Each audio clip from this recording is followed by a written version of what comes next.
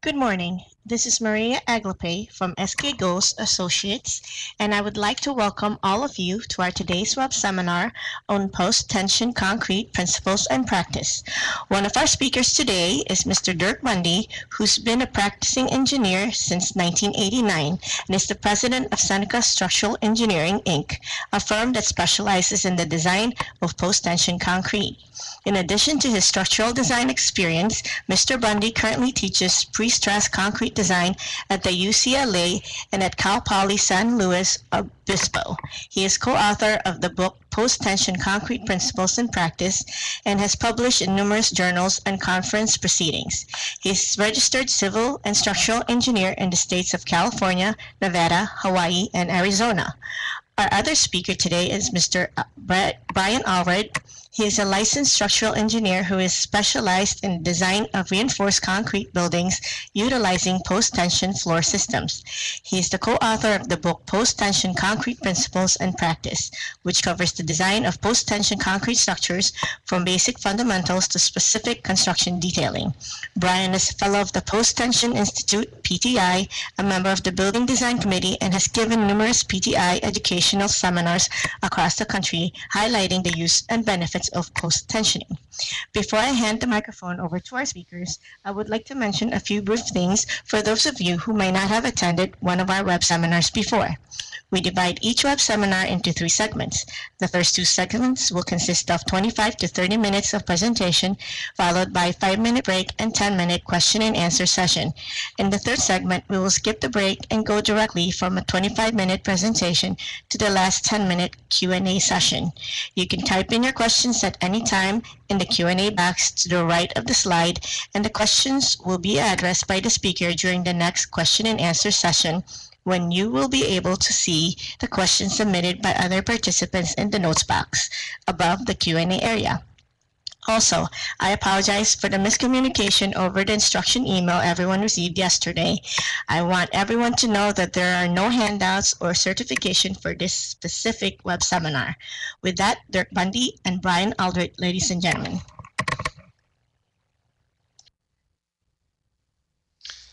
Thank you, Maria and welcome to our shameless promotion of post-tension concrete principles and practice and uh, PTData. I will be uh, your host for, uh, my name is Dirk Bondy, I will be your host for the book portion, and Bryan, I'll hand that off and he's going to dazzle you with PTData input and output. Uh, my father really should have written this book. We waited, everybody waited. He never wrote a book, so we got bored during the uh, recession and decided we needed to do something to keep us busy. So we wrote this book. Um, I asked my father, Ken Bondy, to write the first chapter, the history of post-tension concrete in the United States. There's nobody more appropriate or al alive, more appropriate, uh, to have written that chapter. Bryan and I continued to write the rest of the book and um, then I showed it to my dad, and he he went over it, and um, somewhere in the discussion of his opinion of the book, he used the word hillbilly, I think, jokingly, of course, but uh, this is not a traditional textbook, and it's not written in a way that uh, you're probably used to, to seeing. I think the nice way of putting it is it's a more colloquial style than a traditional textbook, but we wanted to have fun doing it. Uh, we didn't know if five total people in the world would ever read a book about post-tension concrete and certainly the text that we put in there. So we thought at least we'd have a good time doing it. Okay, so I'm going to do my best to tell myself not to go down any rabbit holes and not to get caught up in anything or I will never finish. I'm trying to shoot for about an hour and uh, I am easily distracted, those of you who know me, and I start talking about something, but I'm going to do my best not to do that. Chapter one, I want to hit the highlights. Chapter one is the chapter written by my father. Um, it's very entertaining. He, like I said, is by far the best person to write this chapter, and it is entertaining. I'll let you read it. Do want to point out a couple things. This is the early calculator. he shows the early computer. What's kind of funny is this this is really two generations ago because when I speak, when I teach at UCLA or Cal Poly, I talk about something called DOS and get a bunch of puzzled looks. Um, I tell them there was something called C colon backslant and a flashing cursor where I had to tell the computer what to do. And they look at me like I'm some crazy old dinosaur. Maybe I am. Um, so so this is definitely two generations ago. I'm one generation of old as far as the uh, the students are concerned. When I took I took pre-stress concrete at Cal Poly San Luis Obispo, loved the school. Also again at Berkeley, loved that too. But I was not happy with the way the class was presented. I I'll be honest, I'm honest with all the students that I have. Uh, they told both classes said that the equivalent load method was something that uh, T.Y. Lin had come up with that was effectively irrelevant now that computers had were mainstream and spreadsheets were around, and that we really wouldn't need equivalent loads anymore. So neither class that I took focused on that, kind of mentioned it towards the end. Really, they couldn't have been more incorrect. Um, the only way, in my opinion, to really understand pre-stressed concrete is the equivalent load method. T.Y. Lin was right in the 60s and the 70s, he was right in the 80s, and he's right today. So it's the first thing that I present to the students. Um, I spend the first two hour lecture explaining that a weightless beam simply supported with absolutely no loads on it can have stresses, will have stresses, will have deflection, will not have reactions. and uh, the fact that we spend two hours discussing a simply supported weightless beam with no loads on it can be confusing and they end up leaving kind of scratching their heads, but but intrigued.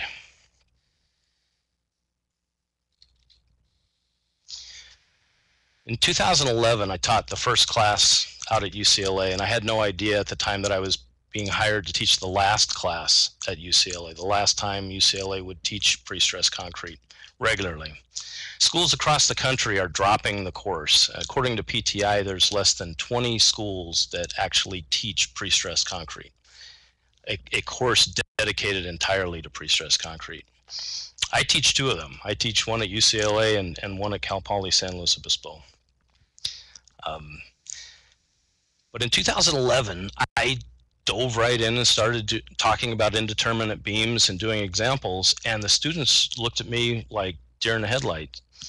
Uh, they, not one of the 19 students that I had, and I had about a third graduate students and, and two thirds seniors, uh, could analyze an indeterminate beam. They could only analyze statically determinate, simply supported elements. So I learned that on a Tuesday. On a Wednesday, I scrambled, created notes for moment distribution, and gave them a method to do it. And we went on from there. But um, the school system's changed since the 80s when I was in it. They're on to more exciting and sexy things, I think. And unfortunately, some of the basics are being cut out uh, when something's got to go. And I, I'm pretty vocal about being disappointed about that. By the way, UCLA now does integrate that into their undergraduate programs. And it's not because I asked them to, I didn't say a thing, but students are funny. When they when they learn that there was something they should have known and they weren't taught that, they get very vocal. And UCLA is a good school. They listened, and now they do come to me with um, with a knowledge of moment distribution. But I will tell you that I can strike fear in the hearts of any student by adding a cantilever. and initial panic usually, but I explain to them that Cantilevers are great for cast in place concrete. They come for free. They come for free, no premium in pre-stressed concrete. In fact, if we move that column back, the architect's happy, the backspan is decreased, the positive moment in the backspan is decreased, the deflections are decreased. So I integrate uh, cantilevers into midterms, homework assignments, and, and by the time they leave my class, they're they're pretty good with cantilevers.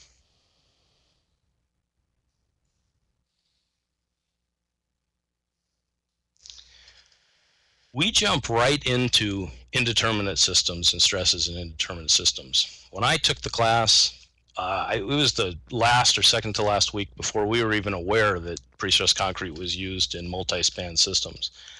That is not the way to teach it. That's not the way to learn it. Um, so much of what's exciting about pre-stressed concrete can't be taught with a statically determinate member. So they get moment distribution.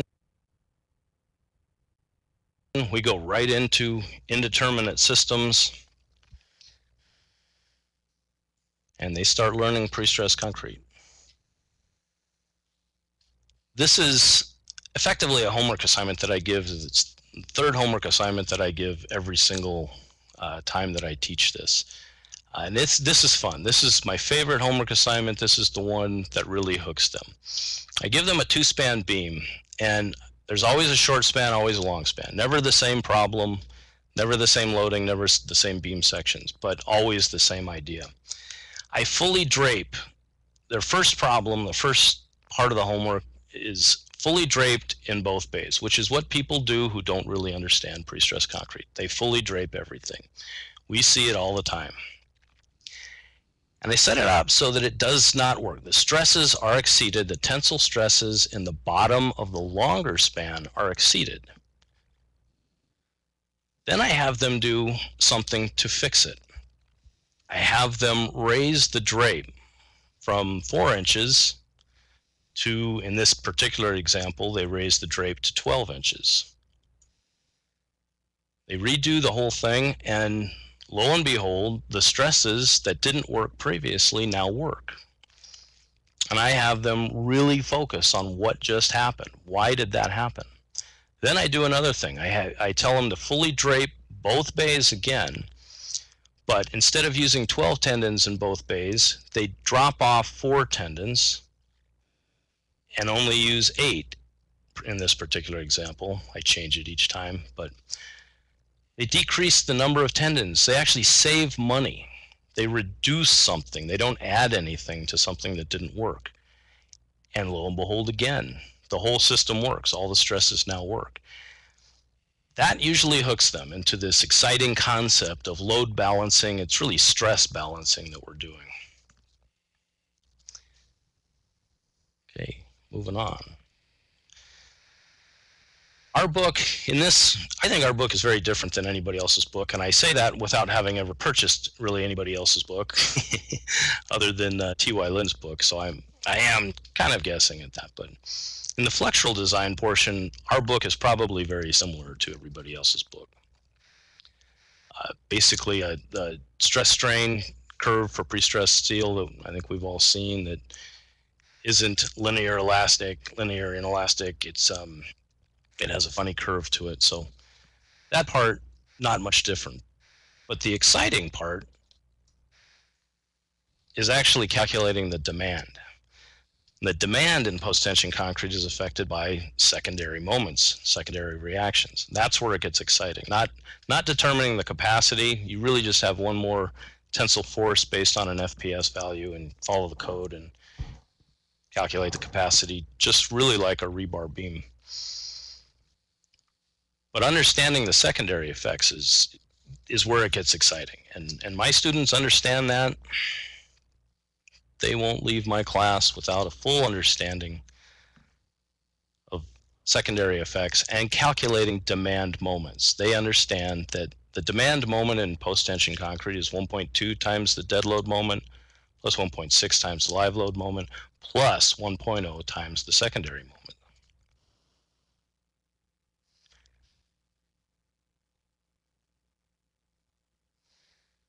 They leave my class understanding that they have a factored load moment diagram, 1.2 dead, 1.6 live, added to a secondary moment diagram to get a final demand moment. And that's, that's where flexure is exciting in post-tension concrete.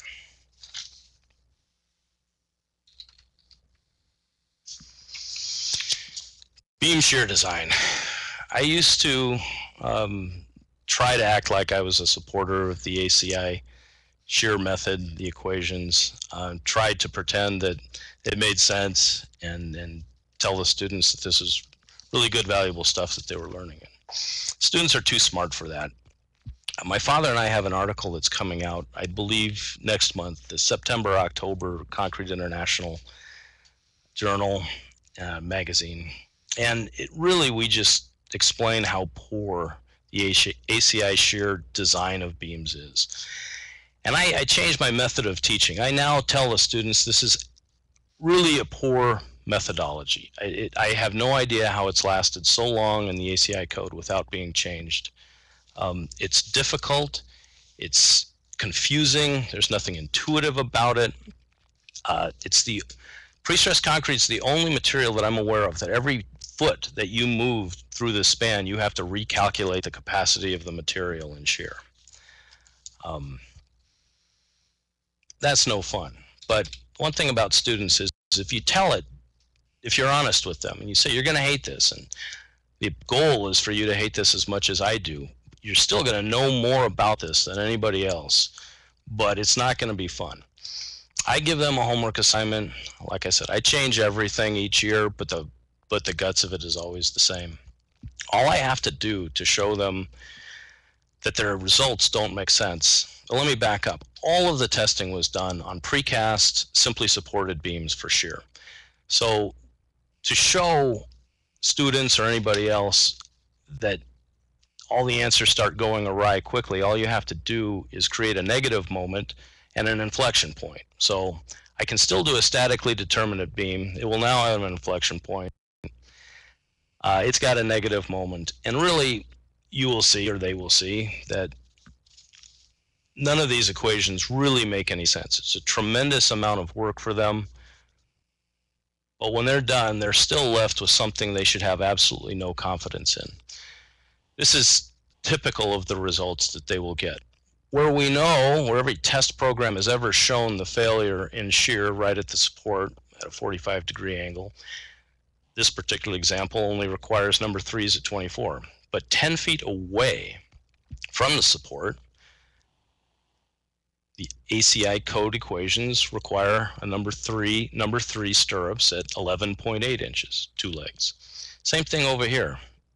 Number three is at 19 at this support, but 15 feet away, you need, in this design, number three bars at 12 inches on center.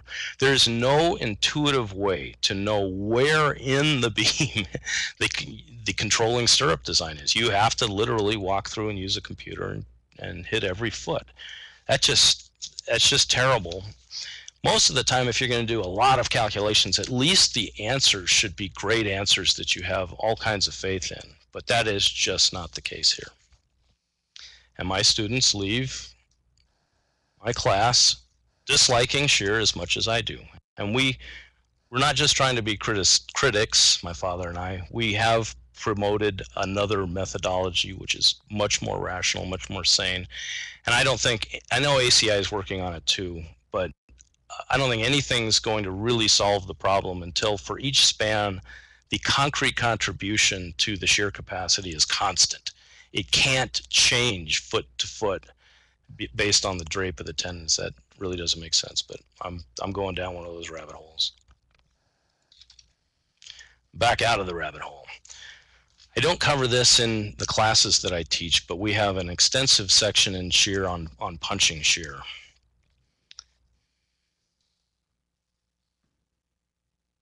most of the work that Bryan and I do are flat plates, so we needed to get really good at this. This is the traditional method, but um, of calculating punching shear. But what we wanted to do, stud rails, shear studs, are integral with post-tension concrete now. They, you really, we almost never do a flat plate that doesn't include shear studs. If we're doing a podium, we'll use uh, caps. But for any of the thinner decks with the lighter loads, we will always use shear studs. So we wanted to really understand it. We didn't. We were using proprietary uh, software, but the proprietary software always points you in the direction of only using their product. And we really wanted to write our own uh, program, which we did, that would design the, the shear studs also. So we put the examples in the book. We have an example of an interior uh, stud rail design we match PTData in the uh, in the stresses. Then we go on to the design of the rails themselves. Uh, I had to accumulate about four different documents because, in my opinion, everybody who's written a document on shear studs purposely left large gaps in the logic. You you had to make great leaps of faith to get from one point to another. And I, you know, the conspiracy theorist in me believes that they were doing that on purpose. That none of these uh, suppliers really wanted you to be able to do this yourself. so I got a hold of the ACI. I think it was the 421, and and to be honest with you, that wasn't very clear either. But but putting this all together, the puzzle finally was put together, and and we wrote our own program we give that away for free, by the way. Uh, anybody who buys our book is free to send us an email, and we'll send you a copy of this software program. When we used it, and we went back to all the proprietary software and, and put in various examples and always got the same answer. So I think we were on the right track. We have an interior and a um, and an edge situation. So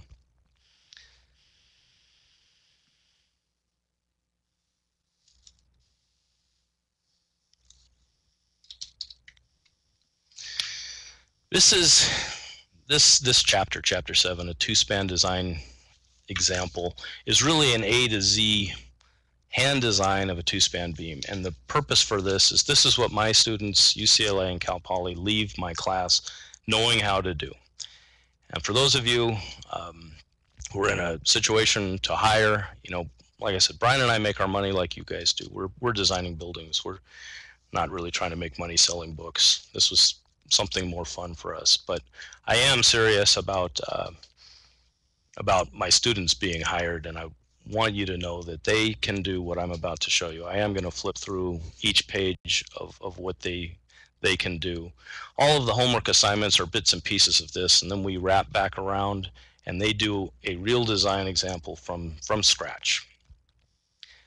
I have them produce the loading criteria. Now, I've had as many as 58 students in my class, so I can't grade 58 different designs, but so we all do the same design. We come up with it in class. But I do have them as part of the project show me that if I didn't give them the force and profile and I gave them some direction, like balance 80% of the concrete dead load and give me at least 250 psi compression, with that limited amount of information, they could come up with a very reasonable force and profile, and they they eat it up. They get it. I just integrated.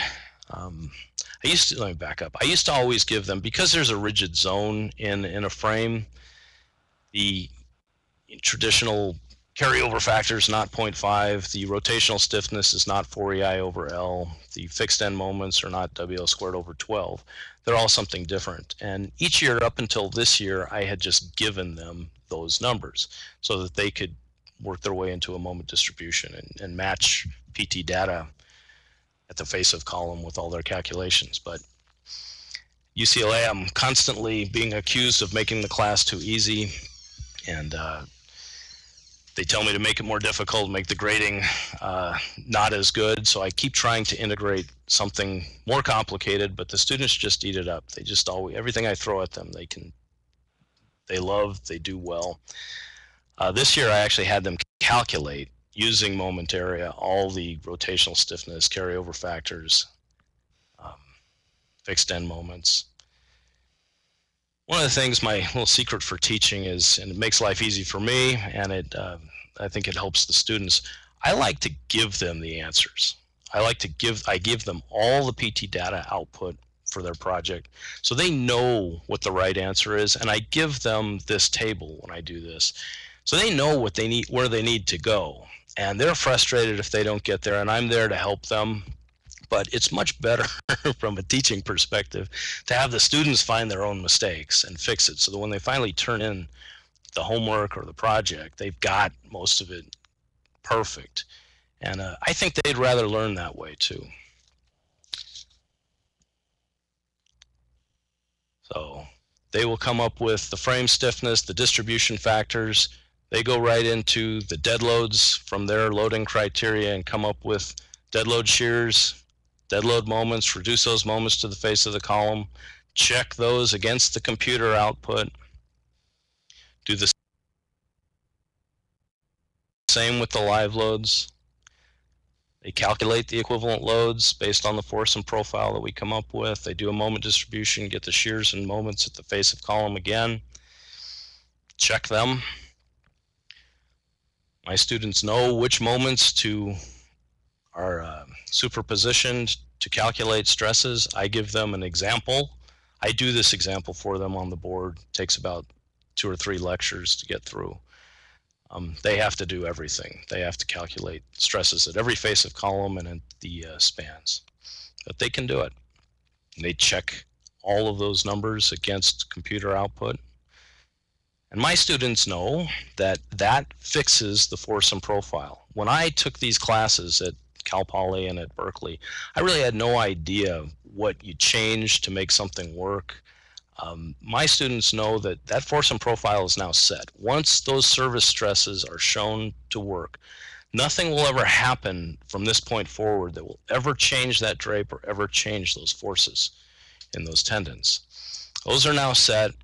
Everything from that point forward is done with mild reinforcement. Uh, they go on to the, flex, the strength calculations, flexural strength, shear strength. They will calculate a secondary moment diagram check that with the computer output.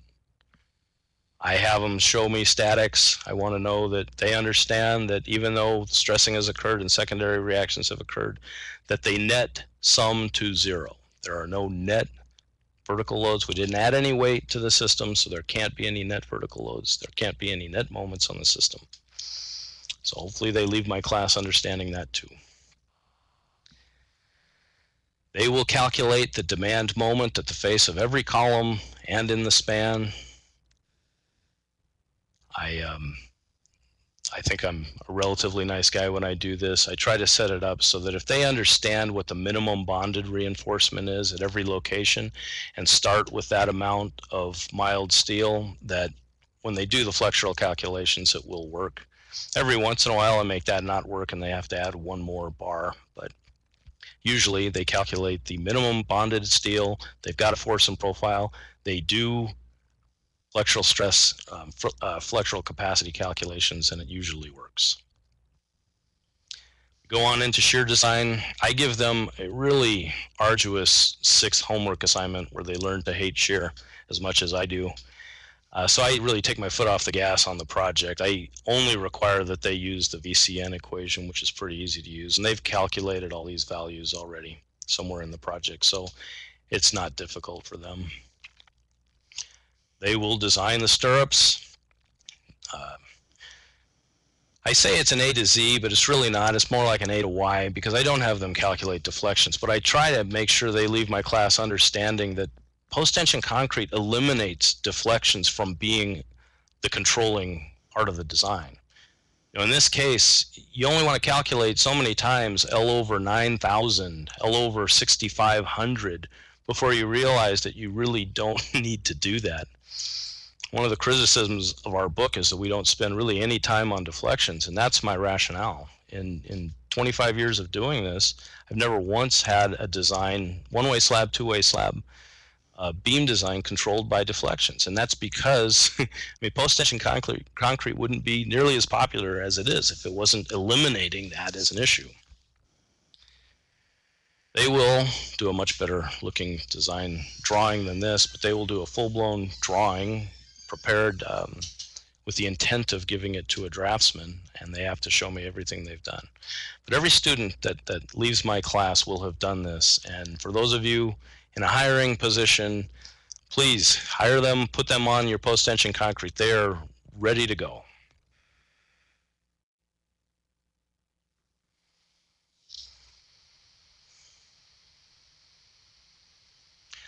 Um, I'm really not going to spend much time on one-way slabs because as I tell my students, if you just went through the beam design, one-way slabs are the same thing, but just easier.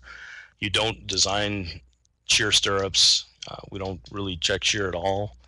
And um, the only thing that's semi-interesting in our example, I'll be honest with you, is, is how to handle numerically the pour strip. So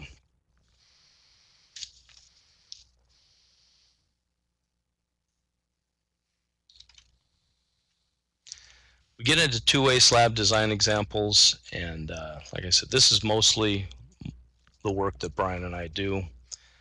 I've got long examples in them, but the one I want to just point out to you is the one I'm most proud of is the second example that got into the third edition of the book.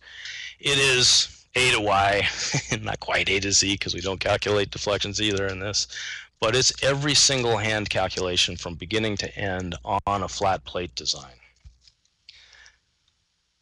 I will probably never teach an advanced course in pre-stressed concrete or you know a, a pre-stressed concrete 2 but if I did this would be the end product. This would be what I want the students to get to. Just like in in the first pre-stressed concrete class where they learned all the bits and parts and then did a complete hand calculation of a two span beam I would do the same thing here. I would have them do all the in the homework assignments the bits and pieces of of equivalent frame design flat plate design, punching shear, and then put it all together in a in a design project.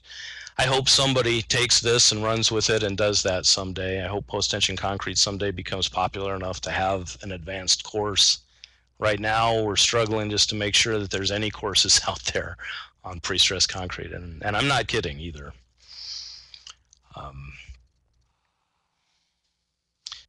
In this, they will do the same type of calculations that they did with the beam design, but it'll include equivalent frame properties. Uh,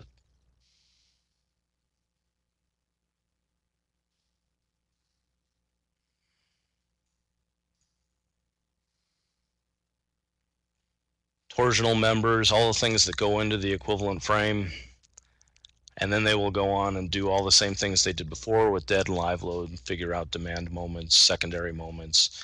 But what's different, of course, is that they have punching shear to deal with now and to really understand.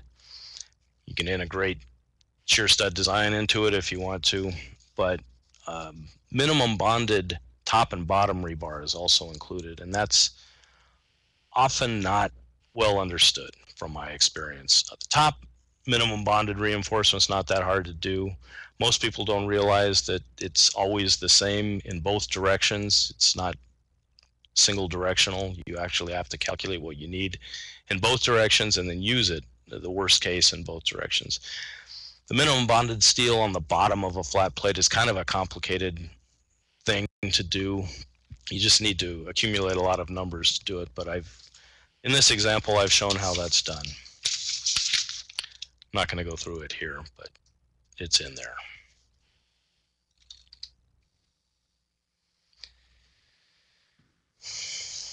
This is a long example. Uh, there's a lot of stuff in it. I'm not going to go through most of it, but there are a few things I want to show you that I don't think are going to be in anybody else's book. I don't know for sure, but I I'm going to suspect that most people aren't going to show you their planter detail. The thing about the planter detail is that the landscape engineer is usually designing right up until the day before the pour. Um, the planters are moving around. Honestly, it's a schematic design until we're about four levels up. So you really have to build in some flexibility. And we found that this particular uh, detail, it's a self-contained box that doesn't require that the steel go down in the deck. This has kind of saved us over and over. We're huge fans of geofoam. I will be showing you various uses of geofoam in these examples. By the way, at this point in the book, we, we've left the, the academic part, the university part. We're now into the practicing engineer part.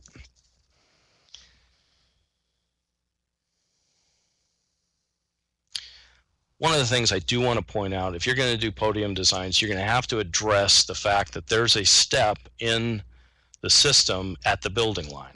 Over here is are the buildings. Out here, uh, landscape, courtyard, plaza.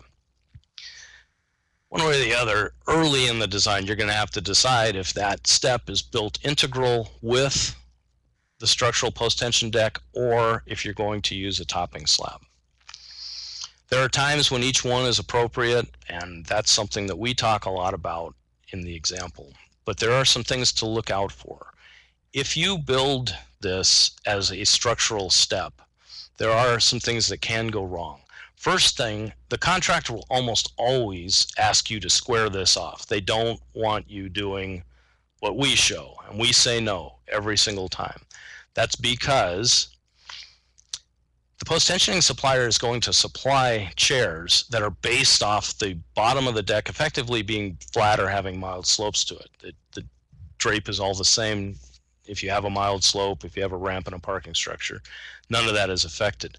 But if all of a sudden you change the depth of the concrete dramatically at a single location, and those chairs are used and placed down off the bottom, you very likely have a situation where you've created a a significant upward load, upward balance load. And you could be in a situation where you've created this problem. So that is something to look out for.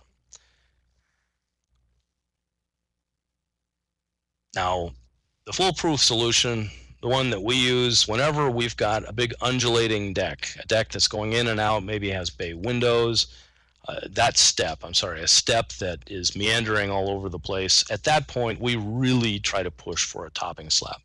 All of those problems of potential blowouts go away and overbalancing. The forms couldn't be easier. I'm going to back up and make everybody dizzy, but in this particular picture, this form has to be hovering. It is floating. It is got to have its own support system. That's very difficult for a contractor to do.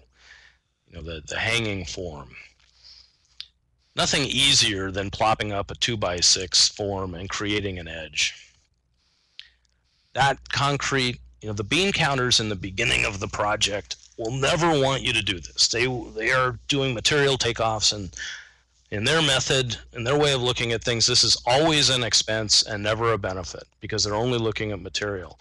But they're not the ones who get so frustrated and call you out to the job site when the city has to come down, the shop, the, the job is shut down because no one's sure if the post-tensioning drape through all of these steps is correct. And they'll look at you and it'll be your job to decide that. And you say, hey, I wanted a topping slab. There are benefits to the topping slab other than just being simple. There are always bathroom tub traps. There are toilet castings. Those things are a pain when they have to recess down into the structural deck. A topping slab eliminates that from being a problem. Um, again, the forming is extremely easy. Those anchor bolts are almost never perfect. They're bent, they're a little off place. You actually have a five and a half inch depth to realign them, hammer them over, kick them over, whatever you need to do. But one of the biggest problems that, or really solutions that the topping slab offers is w- when the deck below is not flat and it's angling and it's stepping and it's going up and down, the poor mason is supposed to cut those walls to those angles. They never will. It's it's much too difficult to ask for somebody to do that. So what we end up finding is that the masonry walls are just built higher than they're supposed to be so all of the pipe insulation that we've put in for slip connections and plastic, and that's all going to get cut out when the wall gets cut back down. So one of the big reasons to consider a topping slab is the masonry walls, are the masonry walls below that are really need to kind of be at the right place and meet up. Another benefit is, you know, I'm going to show you pictures. We can't stand conduit. That's the closest thing we ever have to a real fight out at a job site. But that allows five and a half inches. You can use one and a half, two inch conduit even. Just lay it on the deck and pour over the topping slab. The topping slab's cheap. It's it's 3,000 psi concrete, lightly reinforced, like a slab on ground. It's not an expensive piece of concrete. And even sometimes in colder areas, we've put floor heating units elements in there.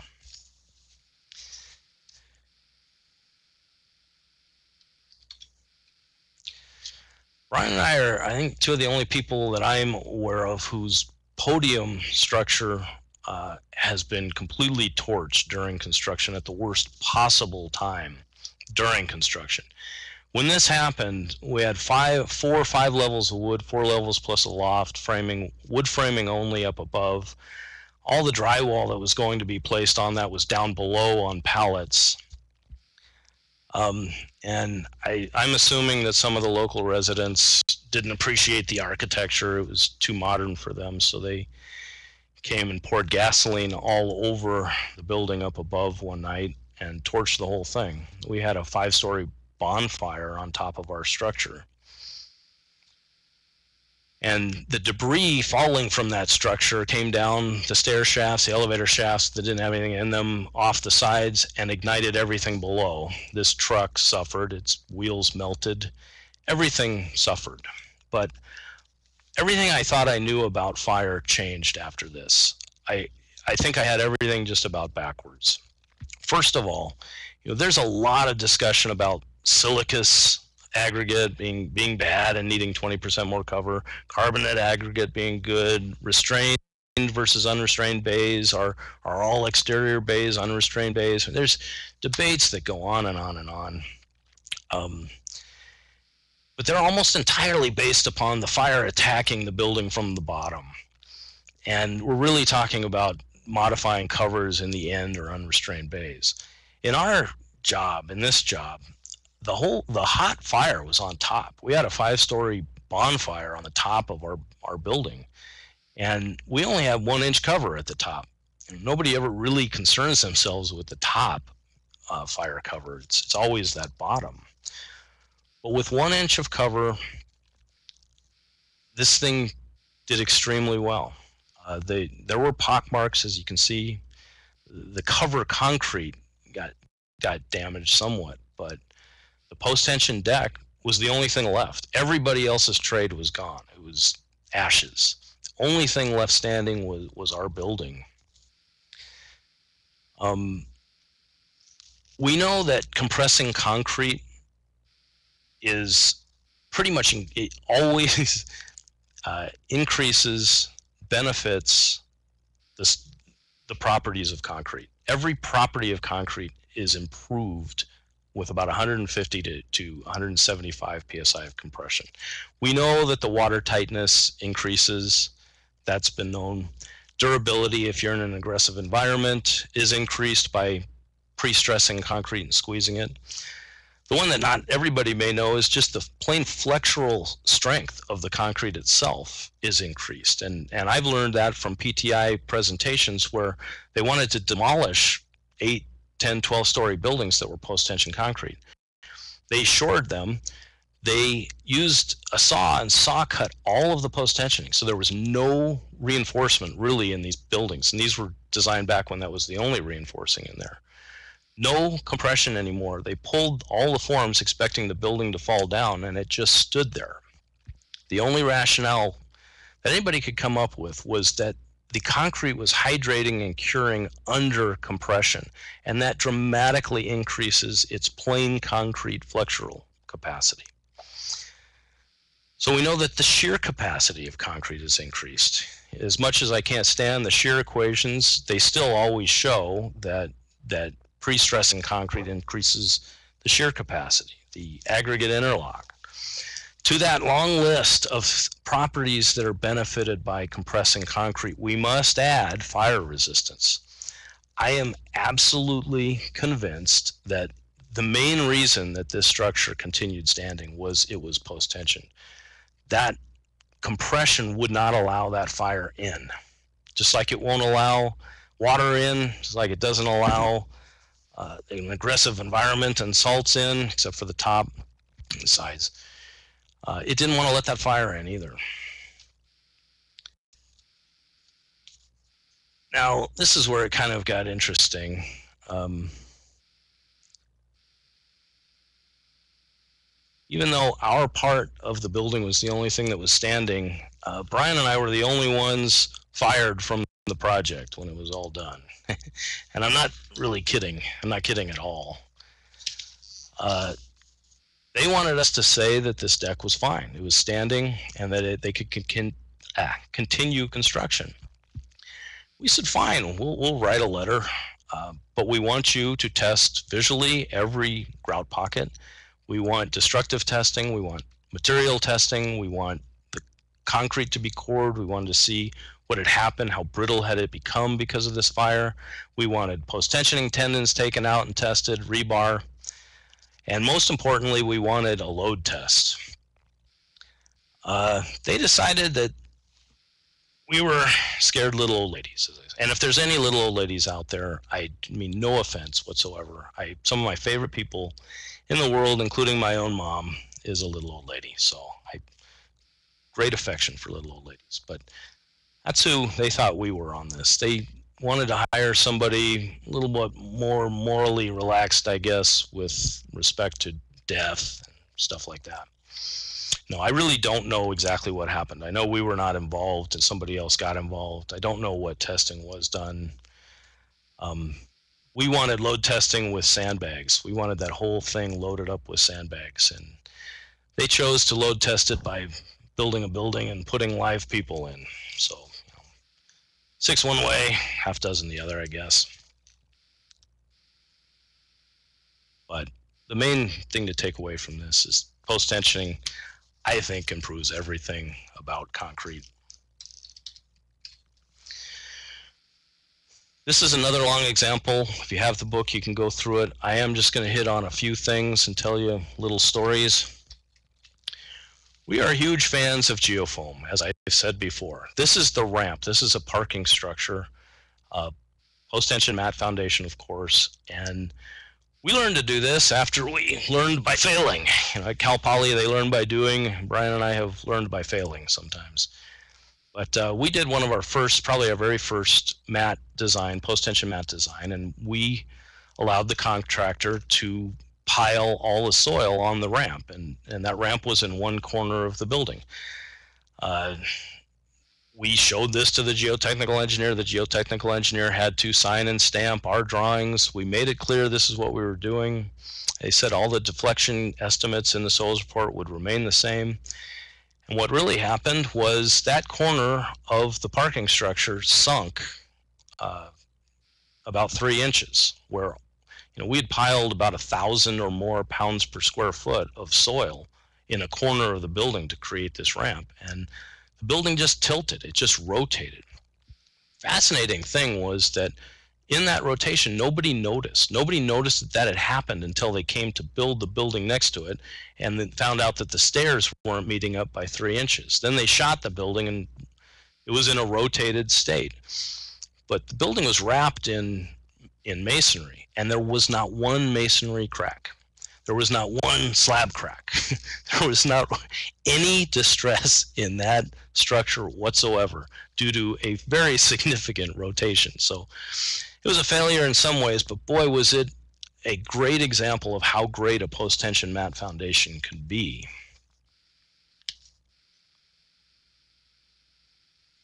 So we use geofoam now. We will not budge on that. A couple things, you know, we used to use PTData as just, just as if it were a podium and it was upside down podium. And uh, there are a few things you got to be careful about if you're using a program that's designed for podiums and you're using it as a mat foundation, when you put in a cap, it's actually on the wrong side in the program. So you will not get that full cap dimension available for punching shear. So that's something to, uh, to think about. Um, another thing is that we keep the mat as thin as we possibly can we use what look like um, spread footings. They're really just caps designed for punching shear, and, and we drop the uh, sorry about this. We drop the flexural reinforcement down into the cap and we extend the cap so that it's long enough for the minimum length required of that rebar. That gets it out of the way of the post tensioning. It increases the D for negative moments. But the thing to remember with mats is that any mat, post tension or not, is going to effectively eliminate differential settlement between columns and, and walls, supports. But the mat itself increases the total settlement. And I've been told by geotechnical engineers that no, that's not the case. Well, you're, you're taking away 120 pounds per cubic foot of soil and you're putting back 150. So it's almost a net zero. That is just simply not the case. And again, we've kind of learned by failing uh, on that.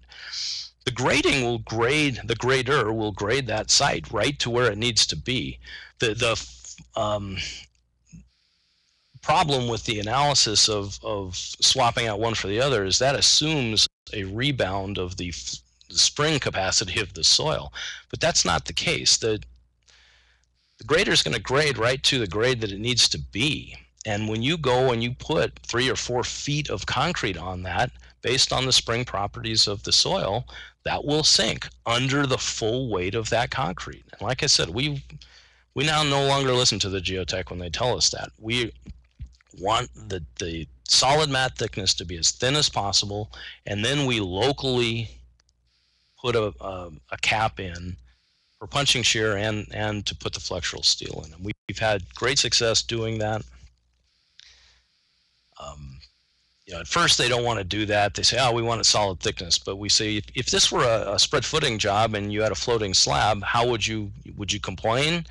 No, you'd dig spread footings and you'd have a solid thickness floating slab. So this is really very similar, except the the spread footing's a little wider and shallower, and the the constant thickness slab is a little thicker. But once it's explained that way, everybody's good to go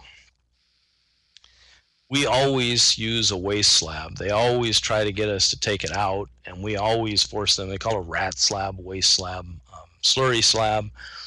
But I will tell you, a, a mat, post tension mat, is going to have about three or four times as much post tensioning in it than an elevated deck, and um, you would never uh, shore or um, brace the post tensioning tendons off of supports that weren't stable. And if you put these chairs down in the dirt, the dirt will become mud and you will not be able to maintain the, the profile that you want. So we always insist on a little cheap slurry slab down below.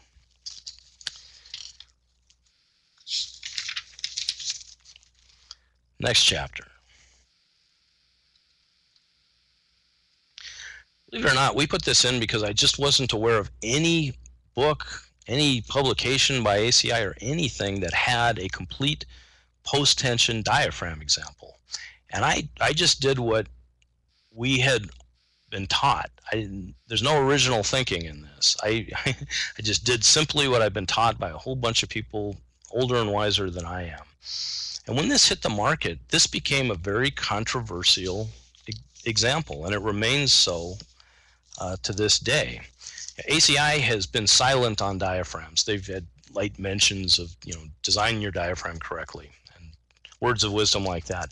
They now want to get into the diaphragm game, but I think everybody who's involved in that has bought Don Breyer's Design of Wood book, which is the greatest book ever for wood design. I loved it. It got me through the structural exam but it's great for wood, not great for post-tension concrete and post-tension concrete diaphragms, particularly flat plates. They are not the same thing. And I'm just running into all kinds of trouble with people who don't see it that way. Maybe went a little bit overboard. I actually developed the forces using modal analysis and response spectrum, largely because most students leave the class thinking that that's a very complicated thing, and in reality, it's not. The only difficult thing is letting the computer come up with the eigenvalues and eigenfunctions. But once that's done, uh, dynamic analysis can be done by hand. But I'll move on.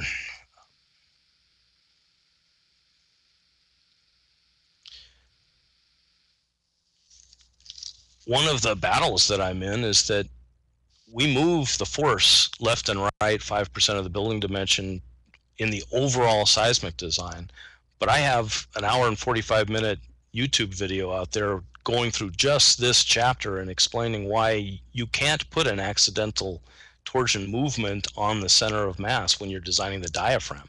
The statics doesn't work anymore. Your resultant force has to align with what your distributed load is. Your shear diagram will close, but it won't be correct, but it'll close, and your moment diagram won't close.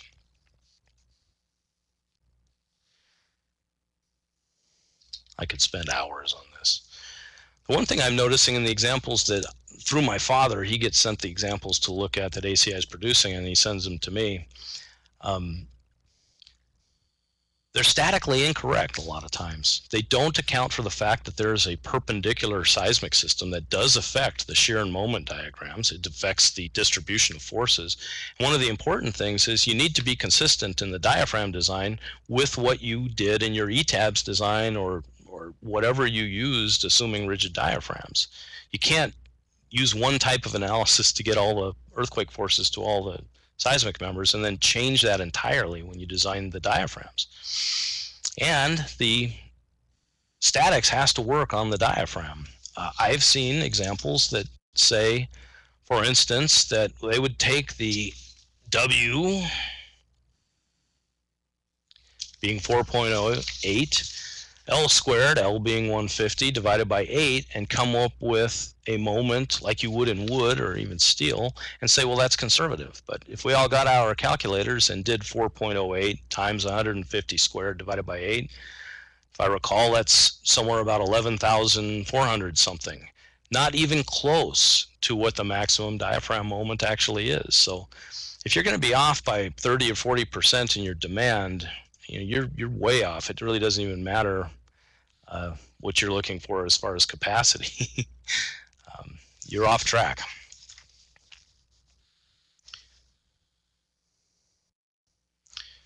Uh, we will use and show how to use PTData to extract out the amount of post-tensioning that is usable for diaphragm design. The code allows precompression due to unbonded tendons to be used for seismic diaphragms. But you've, in our opinion, you, you've got to extract that out, and we show how we do that. Um, this is how I was taught. And like I said, none of this is original for me. I, a very wise older engineer told me that in anything in structural engineering, if you can't draw the failure, then you have no real way of designing against that failure, of understanding it and producing a design that will resist that failure. So these are the shear failure planes. Uh, more controversial stuff.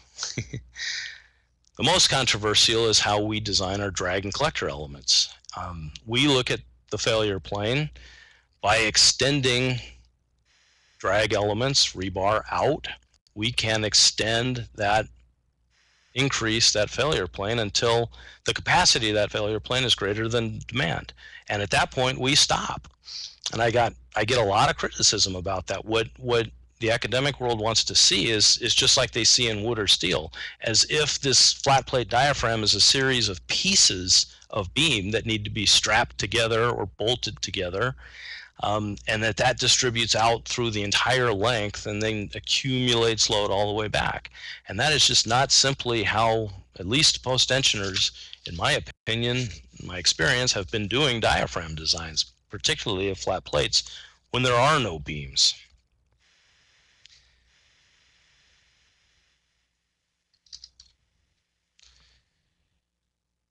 And all of that is for nothing. If you've designed this plate to be very strong during an earthquake, but you never attached it to the seismic system, all that is for nothing. So we are not shy about burying these dowels down into the shear wall in this case, and extending it well out into the diaphragm. So that is definitely not the weak link in one of our designs. I could go on and on, and I think Bryan gives lectures for hours on just this chapter. Uh, design and detailing for mitigation of restraint to shortening.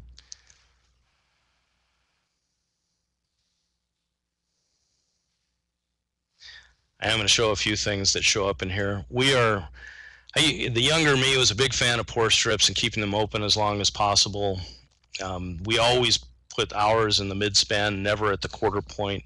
And the reason, hopefully you can kind of see in this picture, if you use a quarter point pour strip, you are very likely to have the short span raise off the forms and the long span stay where it was and create a little ramp.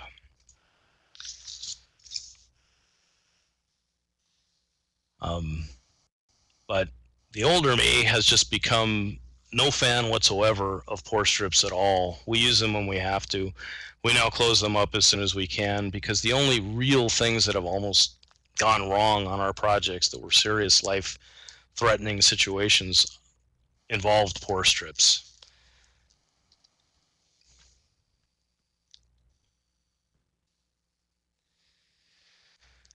Um, I'm, I'm going to actually get to my pour strip little speech in a minute, but we pretty much give it away. We show you the way that we design for uh, slip joints. Someone also very wise told me, probably my dad, that if you don't want it to act like it's connected, don't connect it. That's been good advice. We show you our slip connections, how they work, what they look like in real life world. Uh, you hear a lot that post tensioning can't be done underground. That's not at all true, but you do have to know what you're doing. And again, building a box inside of the outside box is the best way to do it with no connection. You can bring that lower level column in and create a pour strip, an edge pour strip. I'm a fan of those and stress there if you need to. There's a lot of ways to handle it. This is our interior masonry wall to slab connection exterior masonry wall to slab connection.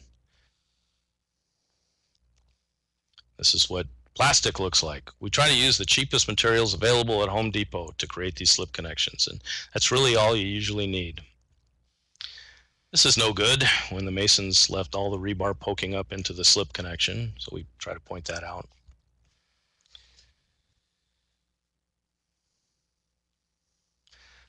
This is important for this note.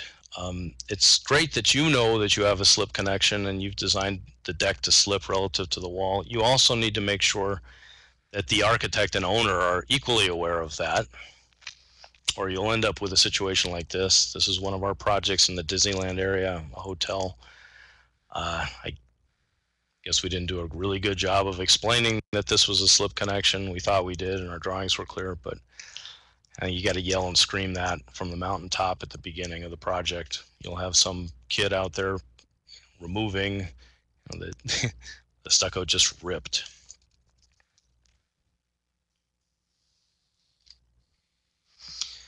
This was a situation where we were designing the, the box below and another engineer was designing what was coming on top of the podium and had discussions with that engineer, very nice person, had trouble believing and said that to me that this is a plate. It's kind of hard to see, but his plate, he wanted to have bolts coming down into our masonry wall. And I said, You can't do that. It, this needs to slip. You need to keep all of your connections within the deck. Build up if you need to, but don't go down. Uh, promised me he wasn't going to do this, and then I think he did.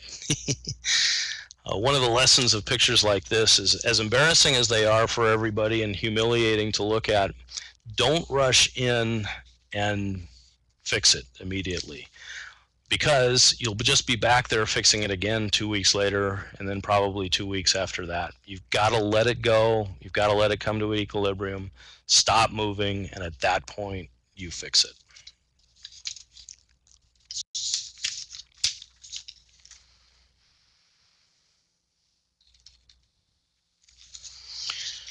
Talking about pour strips, our drawing said, that's Bryan, by the way.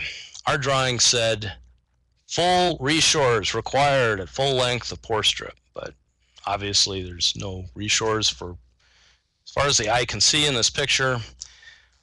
In one-way slabs with 18-foot spans, you're probably always going to be fine. Even if you can't numerically prove that it's okay, it'll be okay. Where this really goes wrong is if this is a 30 foot span or 32 foot span and this deck is eight or nine inches thick and somebody does this, then you have serious problems. And that's that has happened on our project.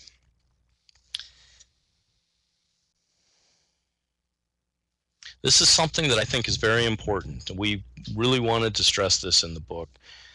Um, I won't spend too much time on it, but reshoring in post-tension concrete in the pour strip bay has been a problem over and over. It's been a problem on our projects. It's been a, we've been called in on.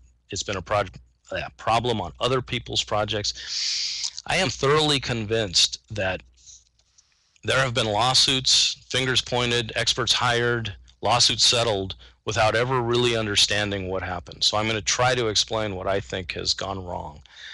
The typical reshore rule of thumb is that for a level that can't hold itself up, a freshly poured concrete level, it takes three levels below, rule of thumb, to support, to hold up that level. A third of the load is dropped off at each level. Unfortunately, too often that same philosophy by the reshoring contractor is applied in the pour strip bay, and we've had to explain that no, this this level can't hold itself up, but neither can this level, and neither can this level. This is like a column. The load accumulates as you come down. There is no level that can help you out. So the shoring needs to be increased. And unfortunately, you'll go out and see shoring that looks like this here. And some kid will say, it's the strangest thing. Our, our reshores are bowing. They're actually, and we say, ah, it's buckling. That's Euler buckling. um, this has happened on taller buildings. We've been pulled in. Uh, again, these bays can't hold themselves up, so they accumulate load. But unfortunately, the reshore contractors are of the opinion that it only takes three levels to support all of the levels that can't support themselves. And they start decreasing the shores and they start buckling. They do start bowing and buckling at the lower levels. Um, if the rule of thumb is that for every level that can't support itself, you need three others, in this example, there are four open pour strip bays you would need 12 levels below participating in holding up all that load. One twelfth of the load could get dropped off at each level. I've explained that in meetings when the floors are terribly uneven and nobody can figure out why they're so uneven in the pour strip bay and sagging. And I explain you needed 12 levels. And they just look at me, you know, deer in the headlight type of stuff. So on our projects, we make sure if we've got this situation, we tell them reshore all the way to the ground. Just don't ask any questions. Reshore all the way to the ground. This needs to just pass through those decks and get to the foundation. Don't try to have any deck that's been cured and stressed support any of this. We think the best way now is just get rid of the pour strip. Or if we have to have a pour strip, we close it as soon as we can so we don't end up in a situation of stacked open floors.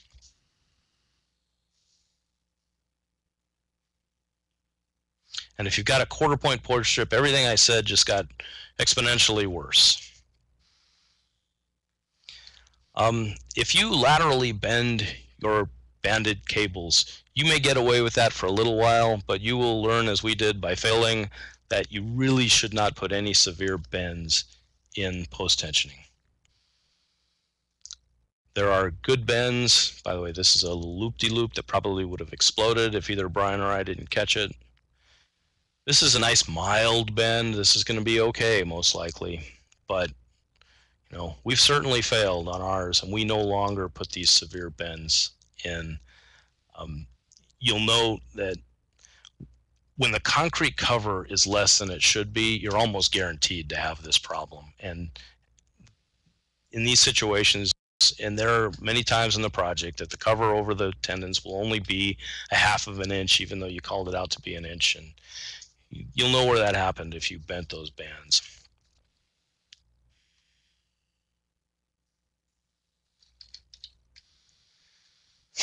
This has kind of become a famous picture. My dad and I argue over which one of us took this picture, but it is a failed deck after Northridge earthquake, and both of us had the great wisdom to crawl underneath a building that was in about to fail and take these pictures. This is um, post-tension slab, you can see a couple post-tensioning tendons going this way and a couple post-tensioning tendons going this way.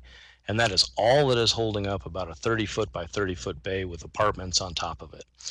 This is like one of those things where you, you read about a rare bird or a rare fish in a book, um, but you never expect to see it in real life. And we got to discover it in its natural habitat. Um, And like I said, I I was young and stupid, so I crawled under the deck and got excited and took the pictures. Um, my dad was under there too. I'm not sure what his excuse was for doing that.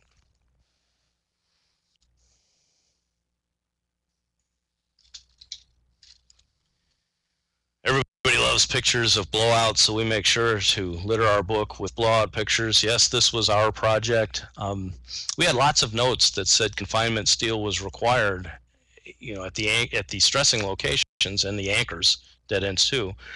But the contractors are absolutely convinced that a construction joint doesn't count. until this happens. And then they realize, ah, you know, that concrete didn't know this wasn't the edge of the building. We have a series of conduit pictures in here, just showing you the misery of what happens in podium decks. This is actually a nice layout. One of the fun early conversations in a when a project is being kicked off is we go in and we say we'd like the conduit out of the deck. Just take it out of the deck. And somebody says oh no that, that won't be pretty. You know, we're, we're going for the Ansel Adams view of, of below the podium deck. And that's where if, if you're going to buy the book you should probably buy two copies. Keep one in the office and keep one in the car. And when somebody says something silly run out to the car get the book and show them that there's absolutely nothing pretty going on below a podium deck all of that plumbing is being hung, lights, everything else. These shiny things, that was our conduit. We actually convinced them to get the conduit out, and I think it's the best looking thing in the picture. I think it improves the look. Ansel Adams would be proud.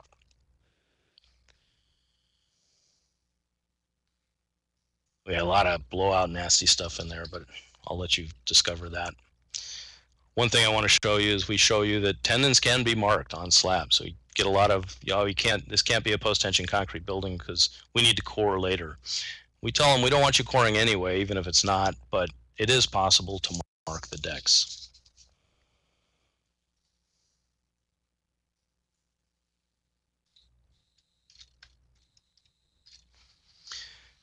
Bryan and my dad put together this. It's it's everything you'd ever want to know about slabs on ground. They did a fantastic job. They uh, look at rib slabs, they look at design methodology, the PTI method, um, uniform thickness slabs. You can spend an hour or two just going through all the stuff that they did. It's very nice.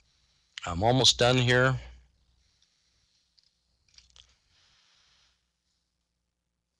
External post tensioning. Sorry, let me back up we have a chapter on external post tensioning. One of the most fun things that you'll find. We show how to identify lightweight concrete, what corroded tendons look like, what strings look like when everything's unwound, the typical loop that you might see. Uh, dangers if you're going to externally post tension a post tension building that you got to be careful about how you do it. This is one of our projects in um, in Newport Beach. I take the UCLA students to this, and then after I dazzle them with external post tensioning, I take them to Joe's Crab Shack, and just like that rare picture of a bird that you think you'd never see, this is actually engineering students having fun uh, in their natural habitat. So it is possible for engineers to have a good time, and I've got photo documentation of that my 2013 class. The class is growing. 2014, we pretty much dominated the whole place.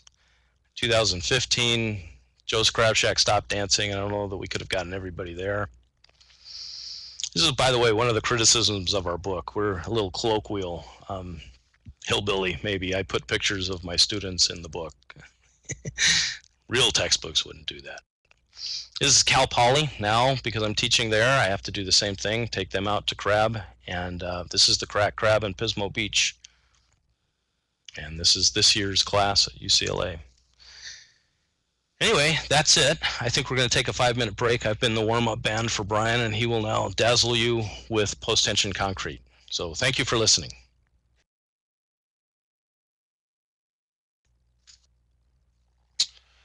Hopefully you can hear me. Um, this is Bryan Allred. I will be doing the last part of the presentation, which will be a focus on the PTData software and how it's basically used. Uh, it's 1220 right now. I'm going to go to about 1 o'clock and I apologize. Uh, Dirk went about 20 minutes over, which is the problem when you give or you take Dirk to open mic night. He pretty much takes the entire show. So uh, if you have any questions, please type them in the Q&A, and at the end of the presentation, I will try to answer them the best of my abilities. But if you do have any questions for us that you'd like to ask afterwards, you can email both myself, Bryan, or Dirk. It's our first names, B-R-Y-A-N, or D-I-R-K at SenecaStructural.com, Seneca Structural, one word. So with that, uh, I'm going to go through quickly uh, some examples of basically how you use PTData to design PT. Um, now, having said that, PTData, the big pitch we make for PTData is that this was engineering software made by engineers for engineers. There is only the information you need to design, and I pretty much use this program probably numerous times a day for the last 20 years. So uh, you can use it one-way slabs, beams, girders, mat foundations, uh, two-way slabs, whatever you need, this will do it for you. But it gives you the answer in a very short, concise manner because like most of our uh, us in this profession, we are not paid by the hour or paid by the job and it's the best to be efficient and accurate and not time consuming and uh, just generating paper for paper. So instead of doing some canned examples, I'm basically just going to show you how this program works. Now, the first thing I'm going to show you how to do is a one-way slab. Now, one-way slabs are very popular, as you can see in this photograph, for long span garages. Whether you're in the East Coast, the Midwest, or the West Coast, long span garages are a staple of the PT industry. Basically, you have a relatively thin slab that goes from the beams, which are right here. The thin slab goes beam to beam to beam, and this has been done numerous times. It's a very very well produced product. It works very well. If you're new to post tension, a great product to start from because the answer has been done, you know, half a gajillion times. So basically, the plumber, the electrician, and the landscape architect know what the PT should be before you even start. Um, a lot of times, you team up with contractors, so it's a very well-oiled machine. So again, if you're new to PT, this is a great place to start. So we're going to design one, two, three, and a four-span condition using PTData. So going to the program, you would come in here, hit new one-way slab. From the photograph, we have four spans, so you can pick up to 25, hit four spans. You can pick top and bottom rebar, whatever size you prefer. This is your concrete cover. But the thing to look at on this photograph is right here, the tendon cover to the concrete. You have bottom, or excuse me, top of one inch, bottom of one inch, and bottom end span. Now, as Dirk mentioned, in post-tension concrete, there is a, a substantial difference on the end span for the fire covers. Whether you have a two, a three, or a four hour rating, this number changes. And it's a prescriptive requirement. So there's really nothing you can do numerically to justify not doing it. And unfortunately, both Dirk and I, Dirk and I have seen engineers go down for not satisfying the prescriptive requirement of the code. So make sure that this number whether it's 1.5, 2, 2.25, whatever your fire rating is, is different from these two, or you're most likely going to violate fire cover. So that is why at PTData, we make very clear that the end span, or what's called unrestrained, has a different cover, cover than the other two. Four spans. So what we're going to do is enter the data for the most typical span, that is a span of the slab. So I'm not going to show you the dimensions, but please just bear with me on this one, that the first span, um, we'll just assume a slab thickness of two inches and a support width of 16. So the first span, if you want to change these, we'll go 15, 18, 18, and then 16 and a half. Now the key to post-tensioning, whether it's a one-way system, the beams, or a two-way slab, whether it's supporting a pool or a podium, is always a slab thickness, which, which is right here. Now, if you can get the slab thickness correct, it's really hard to screw this up. But if you start with a really thin slab, you end up doing very you know, quote unquote, interesting engineering uh, decisions to make it work. So what we did with PTData is we have this button right here. So if you're new to PT or just don't do it that often and don't have a good feeling for what the slab should be, hit this button here, which will bring up this window. The end span length, we have a 16.5. The interior span typically is 18. The superimposed dead and KSF is, let's say, 4 for a parking structure, and the code live load is 40. So fill in your typical parameters, hit this button, and we'll tell you you should basically be about a 5-inch deck. Um, this is not always the absolute answer you should use, but it should get you in the ballpark. So if you're doing a podium structure or you're supporting a park or let's say high truck live loads, um, fire trucks, loading trucks, or retail centers, at least you can get in the range before being off by 20 or 30 percent. So now that we should use a five inch slab, we'll close this window, make the slab five inches thick, and we're done. Okay. The next thing we're gonna do is enter the superimposed load for each data, uh, for each span, excuse me. So hit OK. We're going to use a uniform load since this is parking. Hit uniform load. We're going to put in four pounds a square foot, 40 live, and that goes all across the span. So if you have a typical loading, whether it's office, um, retail, or parking, that one button will do all four spans for you. So you don't have to enter them individually. However, if you have a very specific condition, you want to add a point load in span four, you would just hit add a load. You can use P for point load, add in two kips five kips of live load and put it at the dead center of the span. And that will give you the point load for that span. Now, obviously, we don't have that in parking, so we're going to remove a load, which is load number two, and go back to general pounds per square foot all over the place. Now, the last window you're going to use is the profile of the PT. What type of profile do you want the field to use? Now, typically when you're using a parabolic profile, or excuse me, when you have uniform loads, you use a parabolic profile. So typically one, two, or three is what you would use. Now, one is a simply supported parabolic profile, which in the real world doesn't exist. So that's much more for precast or something that's in analysis or for academic purposes, like Dirk talks about teaching at UCLA or Cal Poly. Now, we would use typically two or three for a parabolic for, let's say, a quote unquote real world condition. So in this application, we're going to use two. And then you can just hit the return button and it will give you the CL and CR dimensions. CL and CR are the center line left and center line right of the column. And since our beams are 16 inches wide, which was the support we chose, you can just hit enter and it will fill in those numbers for you. Now, for some reason, if you want to modify these dimensions, you can just click on that put in, let's say 12 inches and do that for you. But if you're just using the standard beam width that you're using, the program will do it for you. Once all that's done, you hit OK you go back to the original window, hit OK, and then the program itself, based on its algorithm, will give you an initial guess of the PT design, the forces, and the actual drapes of the tendons. Now, for the all the slabs I've designed and beams, I rarely use this output, but at least it gets you a starting point so you're not just typing in random numbers and trying to get somewhere in the range. So in this situation, it gives you 7.5 kips a foot, that is 125 psi minimum, which is the accepted minimum for one-way slabs. Typically, the 125 is only applies to two-way systems. There really isn't a minimum for a one-way slab. However, 125 is kind of used as that baseline. Now, what we do, and I know Dirk talked about this, is the importance of balance loads. And so before I check stresses, before I even check rebar, what I would do is look at this column right here, the load balance percent. Now, from a design perspective, I think this is probably the most important column on the entire uh, window here, because if that is between typically 65 to 100 percent percent, we consider that a good balanced load, and that's based on history um, and you know lots of people before us designing slabs that have worked well. And if you can balance out 80, 90, 70%, whatever that number is that you're happy with of the concrete, typically you have a very good design. So, having said that, the PTData will flag you low balance load in at least one span. So, the asterisks here and here are obviously both below 65%. So, we would consider that you know, not the greatest design. However, having said that, if you look over here, there are no flags for stresses. So your stresses actually work. This is in all ways, technically speaking, a code compliant design. However, from a PT perspective, with a little extra force and maybe some different drapes, you can get better deflection control and even lower stresses. So I'm going to do typical force here. I'm going to put in nine for nine kips a foot and go from there. And as you can see, the balance load immediately changed. And you can see on span one, we went from about 58% to about 71%, which is considered a very good design.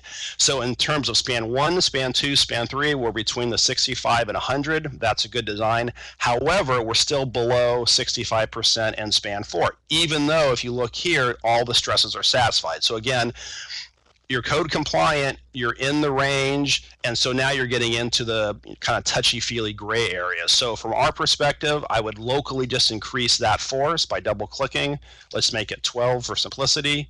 Now we're up to 76%, which again is in the good zone as we would call it. Then after I have all of my forces and my balance loads are good, my P over A is all good at 150 to 200, then at that point I can check the stresses and note there are no flags that says anything's not working. Now, having said that, if I make typical force two kips a foot, you'll notice on the right hand side a lot of red flags. And with anything in life, red flags are bad. And that's telling you at each one of those joints, you're violating the stresses. So regardless of what your balance loads say or everything else, this no longer complies to code. So go back to our previous, um, excuse me, hit nine make this 12, and we're back to good. So if you do have a stress violation, it will flag you. It'll tell you exactly where that is, and then we go from there. So at this point, this is a good design for balance load. It's a good design for P over A, and the stresses work. You can then go to preview, or excuse me, preview graphic output, which is the exactly what it should look like. And let me zoom in a little bit for everybody.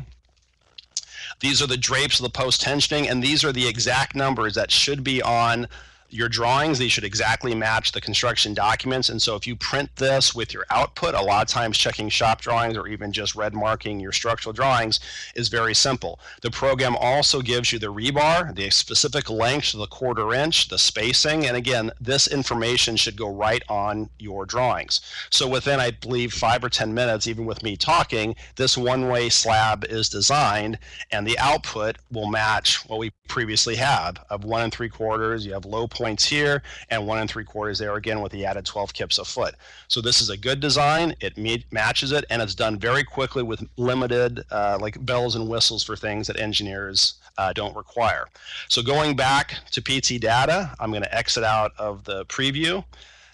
And then obviously this is a two-way, or excuse me, a, a, long span beam. So we have a one-way slab design, and now we have a long span beam design. Now the long span beam is going to look something along these lines right here. This is a two span typical parking structure beam. Again, the long span garages are very popular uh, in the post tensioning industry. If you've been anywhere near large airports, uh, Las Vegas, anything like that, you've seen these garages, and these beams are very typical. So we're going to have this beam that goes basically from grid C to B, then B to A, 62 feet in each direction. And we'll show you right now how to design this beam that is used all over the place. So the first thing we would do is hit new beam and girder. And since we are, I'm going to lose our data, we're going to say no to saving it. We're going to start the run again. Number of spans, we're going to hit two.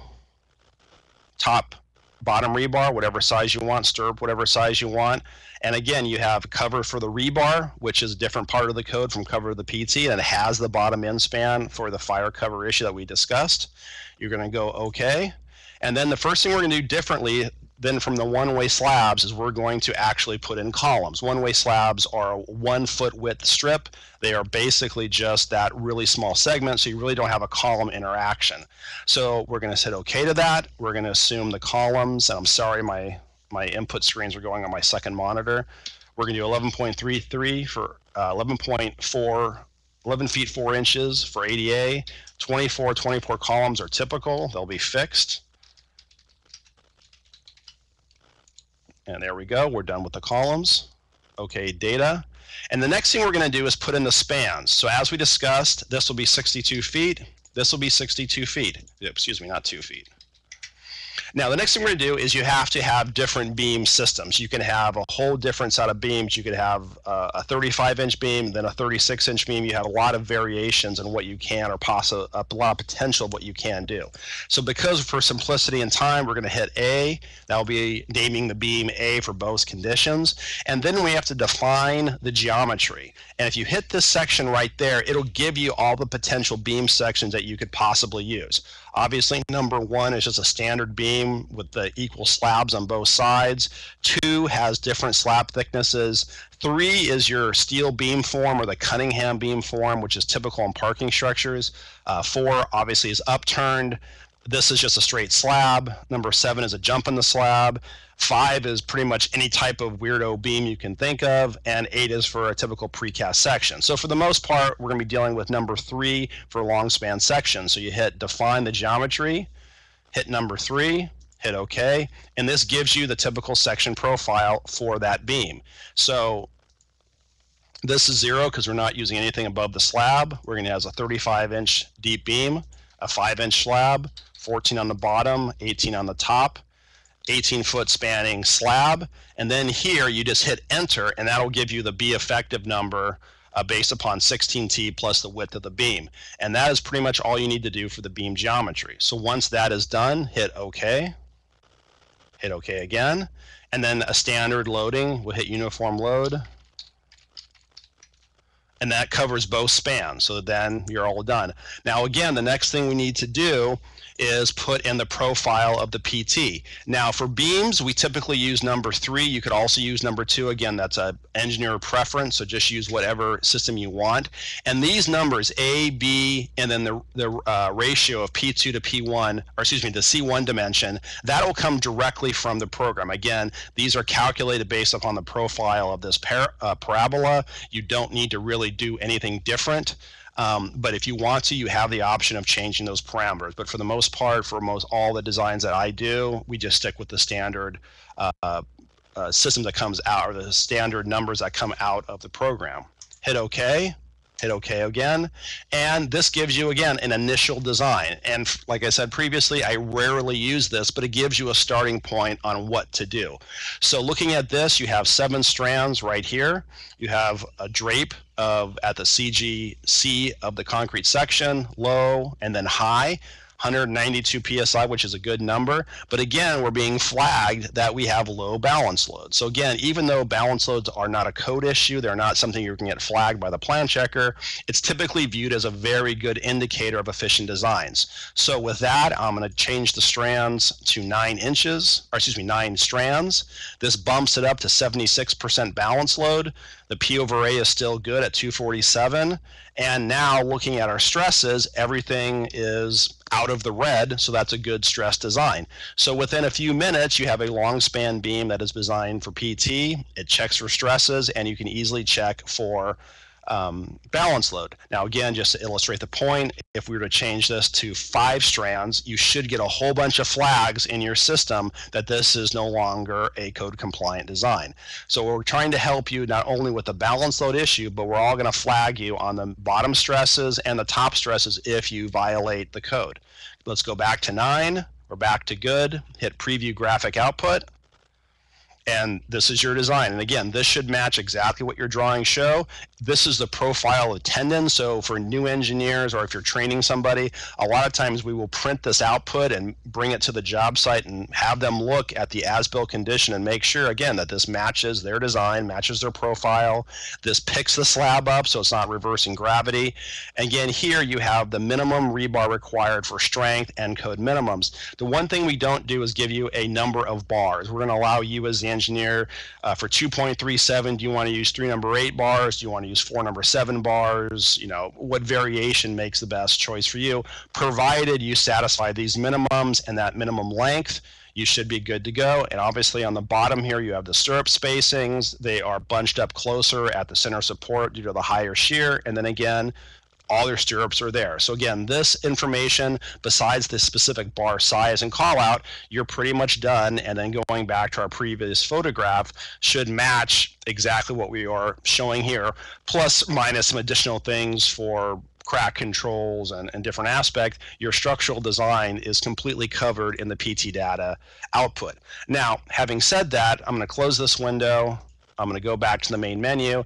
And obviously, we have to produce calculations if you're in the West Coast for plan checking. I know some of the East Coast systems don't have a plan check process. Now, if you're interested in any other aspect of the uh, results, you can go to the review menu and pretty much everything you ever need to know about your beam or your slab is covered in these columns. So let's say you're very concerned about deflection. You would check deflection and cracking moment. The deflection is right here for dead and balance loads. Live load deflection is right there. So if you want to add those up, that'll give you your total deflection on both spans. Um, now, if you're more interested in an L over 1200 number where you are, you can go to main menu, go to File, hit Print Preview Text Output, and this will give you the output that you would include in your calculations of the billing department. And going down um, you can see right here in the deflections checks, it gives you the dead plus balance and live load and gives you the L over numbers. And typically, for the most part, if you are dealing with good balance loads and the right slab thickness, your, your deflections, unless you have tremendously high live loads, should be relatively low, almost to the point where you don't need to check them. Now, obviously, with a long span beam, it's going to have a very large crank on the columns. And so from the output itself, right here, you get the centerline moment of the columns in both the conditions of top moment, or excuse me, moment on the bottom of the joint and moment on the top of the joint. Obviously, there's none at the center of support in this condition, but most of the moment comes on the edge columns due to that crank, and then that's obviously how you would design the column itself. Now, the one thing that we um, use in PTData that we think is very important, especially for beam systems, is that it, you come to tools and you say change configuration. The one thing that this menu does is give you all the load factors that you want to use. So if you're using something other than 318, 08, or 11, let's say you're analyzing an existing building that was done 25 years ago and they had different load factors, this is where you would change it. But also importantly is this thing right here, this little window right here, column modeling options.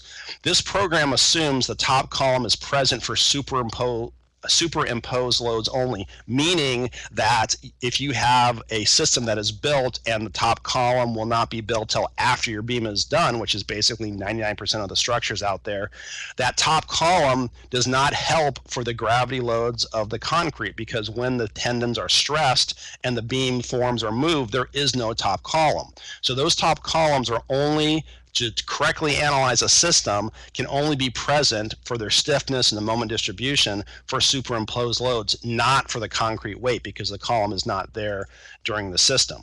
So having said that, so far we have a one-way slab, we have a beam um, long span beam.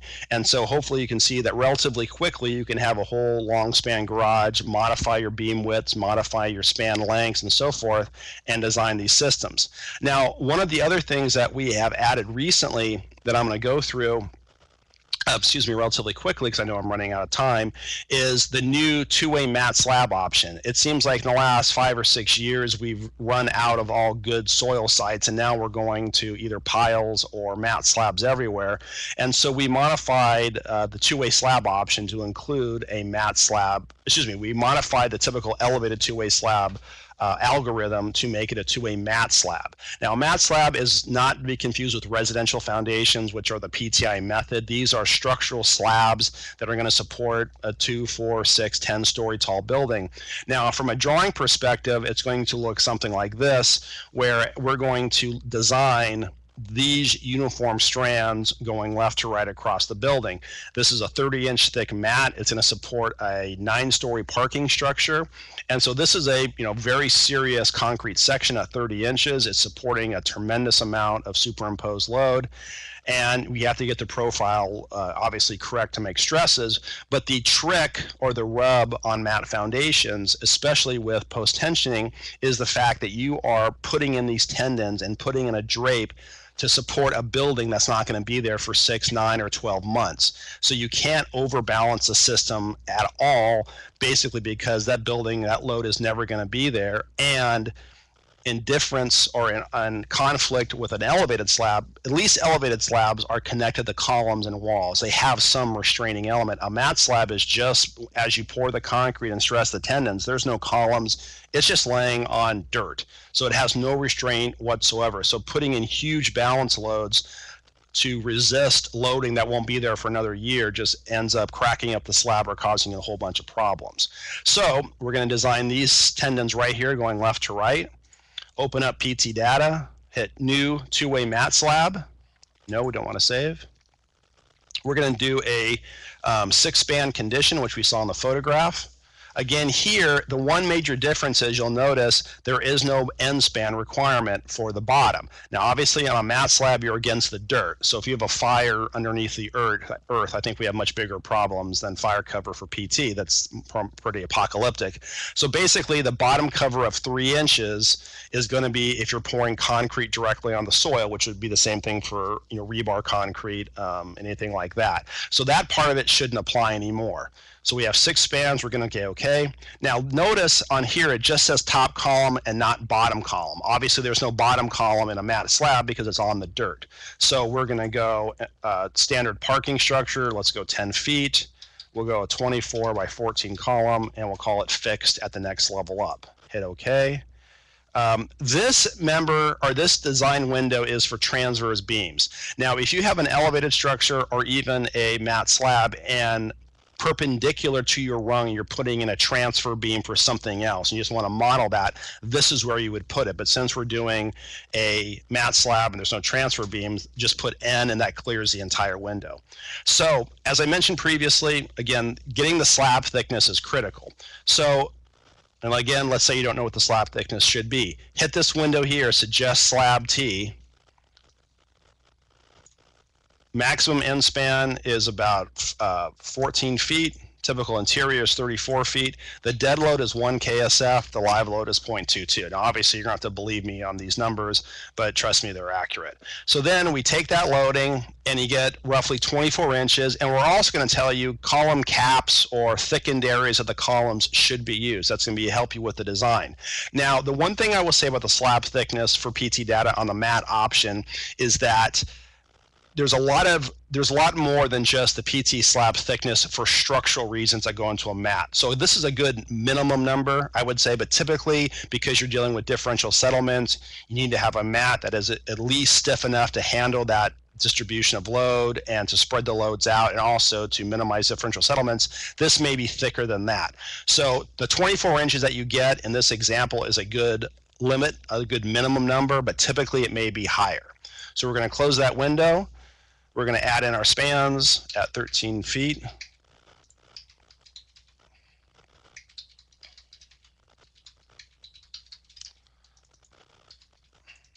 We're going to use a slab of 30 inches. We're going to do a typical total trib of 28.17. Now, the, obviously, these all come from the dimensions from the plans, which I did not provide to you. Um, we're also going to use a cap or a thickened area, and for reasons I'll explain in a little bit, we're going to use 168 excuse me, which is 14 feet, and a typical cap depth of 45 inches. Now, graphically, that stuff is shown right here. W1 and W2 are the square dimensions of the cap, or the north, south, and east, west dimensions, and the total cap H includes the slab. So you're, you're going to use a 6, a 12, or a 15 inch projection below the system, and that is what your basically capital, if you're used to, or drop panel, if you're used to elevated slab, is going to look like. Hit OK. Go to the loading go to uniform load, do one KSF, two live load. That covers all spans. We're going to go to PT. Now notice we're going to tell you right away for mat slab designs, the profiles we're saying are reversed. Now in a mat slab, the load comes from the soil. As the columns push on the soil, the soil pushes up on the mat. So you're going to be pushing down on the soil. So all of these profiles are reversed. We're just giving you the heads up that yes, we didn't change the window, but when you build this thing and when you design it, these drapes are all reversed. So we're going to choose two. And again, I apologize, my window is showing up on my second monitor. The program does everything for you, so all you have to do is hit OK. Hit OK again and there's your design. I this is a good starting point. Now, note there's two things that we start off with before we start messing with the design. First of all, this window or these two columns right here, 125 psi minimum. That is a two-way slab requirement. Even though this is in the dirt and it is a foundation, the two-way um, requirements of the 125 still apply, and it needs to cover the cap area. So if you have a thickened area for typical gravity design, it needs to have 125 per the code. Again, that's prescriptive, and it's one of those thou shall not things. So that's why this is set at 125, and the 156 is because once you get outside of the cap area, area you have less area, so the PSI goes up. Now note over here on this window, we have very good stresses. Actually, everything's in compression. We actually don't have net tension. The problem is that you're balancing 241% of the dead weight of concrete. So when you stress that concrete, you're pushing up on every span with about 250% of its self weight. And again, there's no restraining elements, there is nothing. This is just naked gray concrete on dirt. And cranking in that much force and that much uplift is going to cause you a lot of issues with cracking. You can get cambering, you can even get blowouts. So because these are mats, and again, because the load will not be there for months, if not years, we try to keep the balance loads really, really small so you don't have these issues. So because the 59.47 uh, gives us 125, let's stick to 60 strands, which gives us 56.7 kips a foot, which is what the drawings show. And then we're going to go through and modify the mid-span numbers to get these balance load down to very acceptable limits and hopefully that doesn't kill the stresses. So instead of going through the whole process of playing the game i'm just going to type in the final numbers and notice on this window the balance loads are all less than 65%. Now, you would say typically, wait a second, I thought you said 65% was the good number. And it is for elevated structures. When you do a mat foundation, again, because it is not battling deflections, you are permanently against the dirt and there are no restraining elements and you're just cranking in PT, you got to keep these things low. We typically shoot for less than 50% or 60%, and basically as low balance forces as you can get to make the stresses work is the right number. Now, looking at this one, you can see 9% in span one. When you have really short spans, the numbers really start wreaking havoc. So at this one, you can see your nine and a quarter.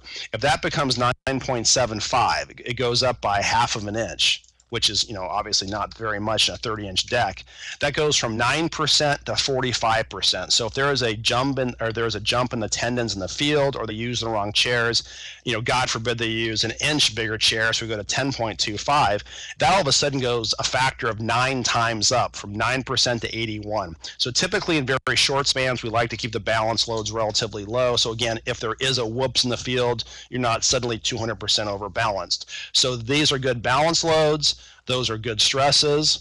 We seem to be pretty happy with our design. And then you go preview graphic output. Excuse me. Um, and this is what the tendon should look like. And again, they're graphically drawn correctly. We're going to be low over the columns, come up high over midspan. Again, you're pushing down on the soil, which is pushing up on your building. So that's why these tendons are all reversed in comparison to what they should be, let's say, for an elevated structure. And again, the rebar is given to you at 6.25 off the center line of the columns, the minimum numbers, and you can change this to number sixes, number sevens, number eight bars, whatever you'd like. Now, in this situation, the other thing to check, which is always a thing to check in two-way slabs, is that you always have to check punching shear. Now, in punching shear, we give you two options. There's section one and section two. Now, obviously, if this did not work, there'd be red flags all over this point, which I'll get to in a little bit. But in section one and section two, um, this is very different, or it's it's different than elevated structures. If you're doing a mat slab and you're using an uh, elevated slab program and just kind of tweaking it a little bit, which is totally fine to design your slabs, this is what you have to be careful of. For section one, you have a column coming down and that is the section that goes all through the, the slab and cap thickness, which makes perfect sense and works in both directions. The problem is if you're using an elevated slab program, it's assuming the cap goes down and the column is on this side of the situation. So your shear plane two starts from here and goes this way. It gets bigger off the cap. That's not the way it is in a mat because the column is reversed. So in a elevated structure, section two is a lot larger than section two would be for a mat foundation. So if you're checking punching shear on an elevated program, you're actually overestimating your punching shear strength, and that could be a problematic. So make sure if you're not using something like PTData or a mat foundation program that was specific, your punching shear is somewhat skeptical because you're overestimating size of number two. So having said that, again, deflections are good. You can check um, deflections if you'd like to. These should all be basically zero because of the stiffness of the mat. You have flexural concrete stresses. If you want to check anywhere along the span of uh, the length of those spans, what the concrete stress is on the bottom, on the top, what the transfer loads are. There's pretty much every single thing number you would ever want on PT. The one thing we don't do is we don't provide that in the output. So the output for this in terms of the plan checker or for the process of um, submittal is always basically exactly what you would need, where the rebar is, you know, these are the spans, these are the columns, uh, these are the slab column moments. This is your profile, which should match the calculations on the drawings, or the, uh, the, the words on the drawings and um, we basically just keep it as succinct as possible. But If you want more information, it's always available in the review menu. Now, I realize I'm running out of time, and I'm going to do one more quick example, kind of show you the things that you should not do and things to look out for if you're designing um, something. So tricks of the trade, we'll call it. So the next thing we're going to do is a two-way slab, and I'm going to do this very quickly because I know I'm running out of time, and I, I appreciate your patience. So I'm going to choose a three-way slab, or excuse me, a three-span slab. I'm going to go, uh, excuse me, 10 foot, 24, 24. We have no beams. I'm going to use an 8 inch slab. I'll use uh, 16, 30, 16, typical trib of 29 feet. Look how fast this is. Um, and I'm going to then say we designed a parking structure, but then all of a sudden they changed it and they want to put fire truck loads on it, and you don't want to increase the slab thickness. Now, again, if we say okay to all this and go through the input data, we have everything set up. Now, again, let's say we check on suggest slab thickness, and again, you're not really sure what slab thickness to use. Use this window this will tell you you should probably be about 10 and a half inches and column cap should be used. Now, because you don't trust me, you don't trust the program, and you've already told the architect eight inches is going to work, this is the kind of danger area or problems that you can get into. So let's close this window, run the analysis at 250 pounds a square foot, which is storage loading or truck loading, hit the analysis, and right away, there's a couple big problems here. Um, First of all, we have different strands all over the place, which is not that big of a deal. So let's just simplify this, make it 49 for the numbers. At least by doing that, we took the stresses away. Now, previously, we go back to our previous design, you blew out the two, uh, the stresses on the joints at six square root, which is 424. So we're going to tell you exactly where you have problems. The other thing that be careful of is, again, look at the balance loads you're at 190%. So let's make stresses work first. Let's say we really don't care about balance loads, we don't believe in that theory. We'll go to 49 strands, and magically the stresses do conform to the code. Now, technically, this is a code compliant design, but there's a couple things you got to be careful of. And Dirk and myself have done a lot of peer reviews. And the thing that we found over the years is there's a lot of great software out there, um, slick stuff, sophisticated. Uh, the problem is it makes it very, very easy to do things that does, don't make any actual sense. And these are the things you really need to look out for. First of all, look at this 470 psi. Typically, most two way slabs are considered a good design if you're less than 250 275. Um, if you have a couple isolated areas at 300 psi, fine. But if you're consistently at 470, that should set out red flags that your slab is way too thin. Let's go back and say, fine, you don't care about P over A, that doesn't bother you so much your balance load is 200%. So you're cranking up on each span with 200% more than the concrete weighs. So when that concrete is placed on Friday and you're stressing it on Monday, you're going to be cranking it up with 300 pounds a square foot on an 8 inch slab that only weighs 150 pounds a square foot. That's never a good idea. You're going to camber it up you're potentially going to create blowouts. But if you're going to put in more load than the concrete weighs, you're going to put reverse tensile stresses on the bottom of the slab joint where you actually have no rebar. You're, you're so reversing gravity and so reversing the way we typically reinforce slabs that where you have tensile stresses, where you should have rebar, you have nothing. So that's obviously very problematic. The other thing is, if you look at the number of strands, we're at 49 strands. And if you remember from our input, we're only at 29 feet wide. That's basically one strand every seven inches. That's physically extremely challenging to build. However, having said all of that stuff that I've just done, if you look over here, you're six square root or less. This is a code compliant design, and we've seen this done before. There is no maximum pre-compression value in the code. There's a minimum of 125, but there's really effectively no maximum. The balance load is not a code issue. It will never come up in the output, and a plan checker will never ask you to show that or show verification that you've even checked it. But again, hopefully I'm showing you this is exactly not what to do. But by overbalancing the system and putting in a tremendous amount of PT, basically putting so much P over A that you knock down the M over S stress, you can make thin slabs work. Now, the other thing to look at is the rebar.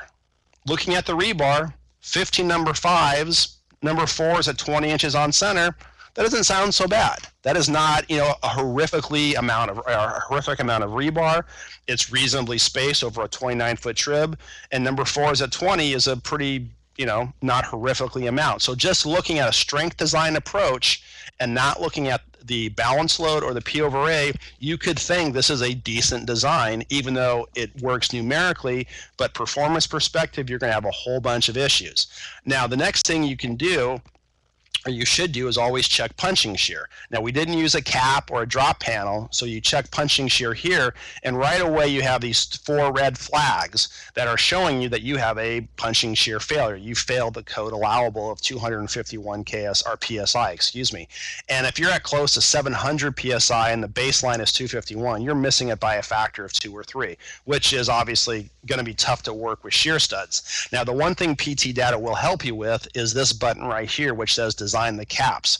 You hit that one right there and give it a few minutes or a few seconds, and it will basically give you a W1 dimension of 8 foot 6, W2 dimension, and an H that it thinks it's going to work.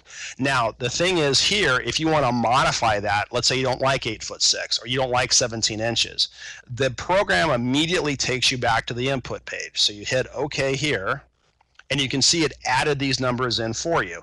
So let's take this and let's say we don't like 17, you can just make it 18, like round numbers, one foot six. Hit OK again, and then it goes back to your profile. Now note one thing here, immediately we've gone down the PT.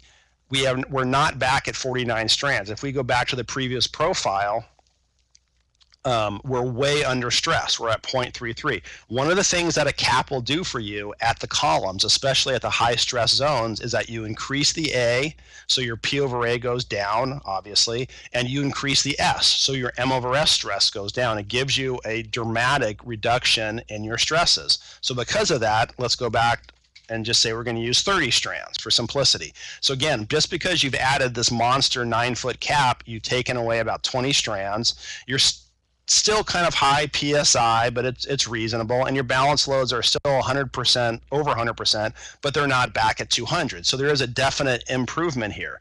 So go to review menu, hit punching shear analysis again, check section one, and then, oh, section two still fails. It just fails by a little bit. So always check sections one and section two, because a lot of times the size of the cap, if it's width and depth are not in that proper proportion, you're going to bust one. Now, looking at this, we're going to tell you what section two is and section one. And section two is governed by the width of the cap. So instead of using 102, let's go backwards and make this 108 or 1085. That would work too, probably.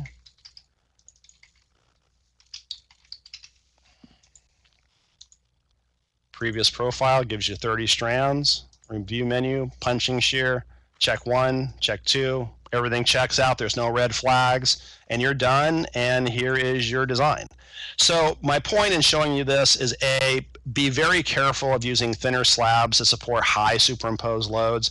You can numerically show and do kind of interesting uh, engineering applications of numerics and torture numbers to make it work.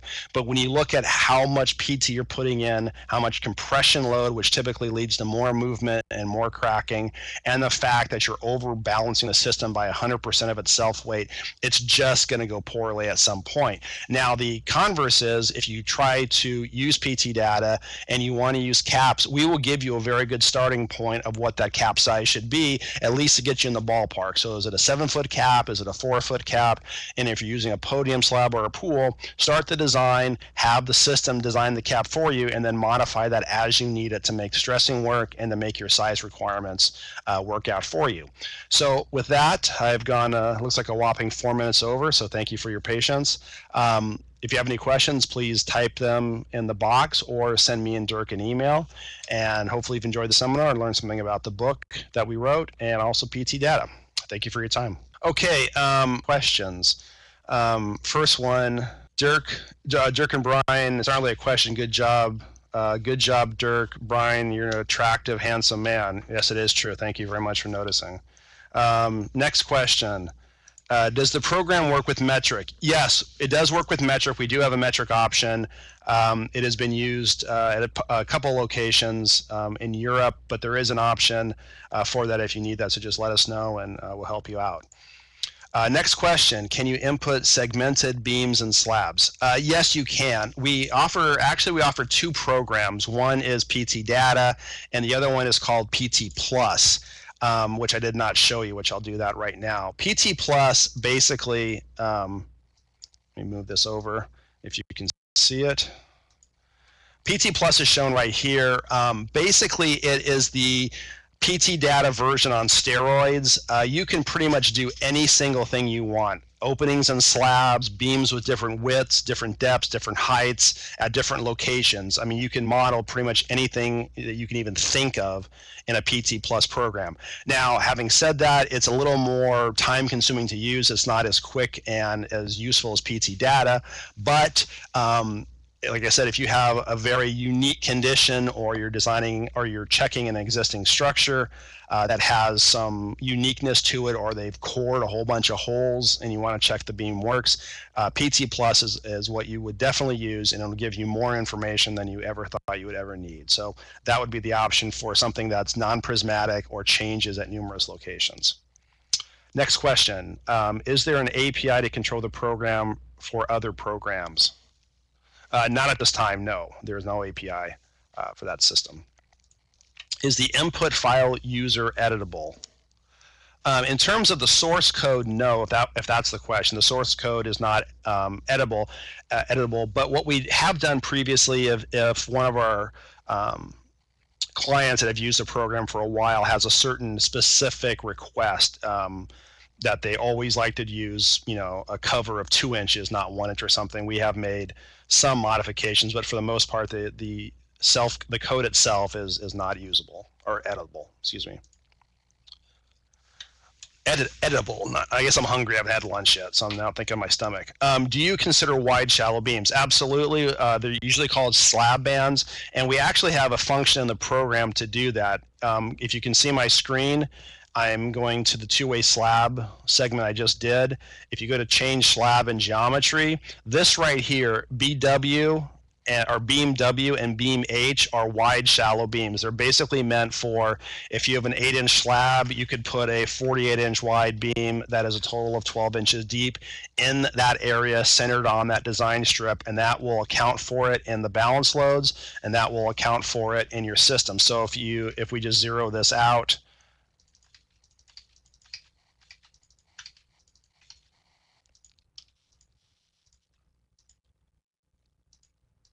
and do this system, let's say we're going to use 15 strands, note the the depth of these tendons is 10 and a quarter inches. Obviously, that's substantially less than 8 inches. So the program will account for wide shallow beams anywhere along the length um, and assumes the tendons will go into that segment for you.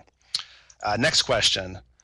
Uh, do punching shear calculations consider openings? Uh, in the PTData program, no, but in the shear stud program, they would consider openings, but also in the PT plus program, if you have an opening that is you know large enough to, to generate concern, the PT plus uh, software will give you that option to, to model multiple or single openings adjacent to the columns. Um, the the, is there an input for the subgrade modulus? For the mat slab option, uh, no. The subgrade modulus is much more of an issue for PT slabs on ground for residential structure because of the uh, limited uh, P over A of 50 psi in the system. These are much more considered to be um, elevated structures and because if the PTI minimum let's say is 50 psi we're typically putting in more of the 100 to 75 to 200 psi range. So the subgrade modulus isn't that severe. Usually the program or the parameter that is most useful for us is the spring constant to design the slab thickness uh, to make sure that we're modeling the soil correctly. But in terms of subgrade uh, that's not an input parameter in the mat foundation um, for diaphragm design is the strut and tie method used. Um, and the diaphragm design, no. Our design methodology, as I'm sure Dirk mentioned, is using the entire diaphragm itself as a concrete element and not so much the strut and tie methodology. Um, this is obviously a very uh, important question, and we've actually written, uh, obviously, a chapter in the book is all about um, diaphragm designs and this is a uh, this answer is a long one but if you go through the chapter itself it'll give you every answer you have about how we do diaphragms how we utilize pt and the shear capacity of the system. But to answer your question no the strut and tie model is not used in our design uh, next question. You showed the uniform load on the mat slab. How about if we want input both point loads from columns on mat slab? How do we input those? Basically, um, the program itself is assuming that the slab is stiff enough and the soil is stiff enough that when the columns come down and load the slab, it is basically going to uniformly spread out on that soil.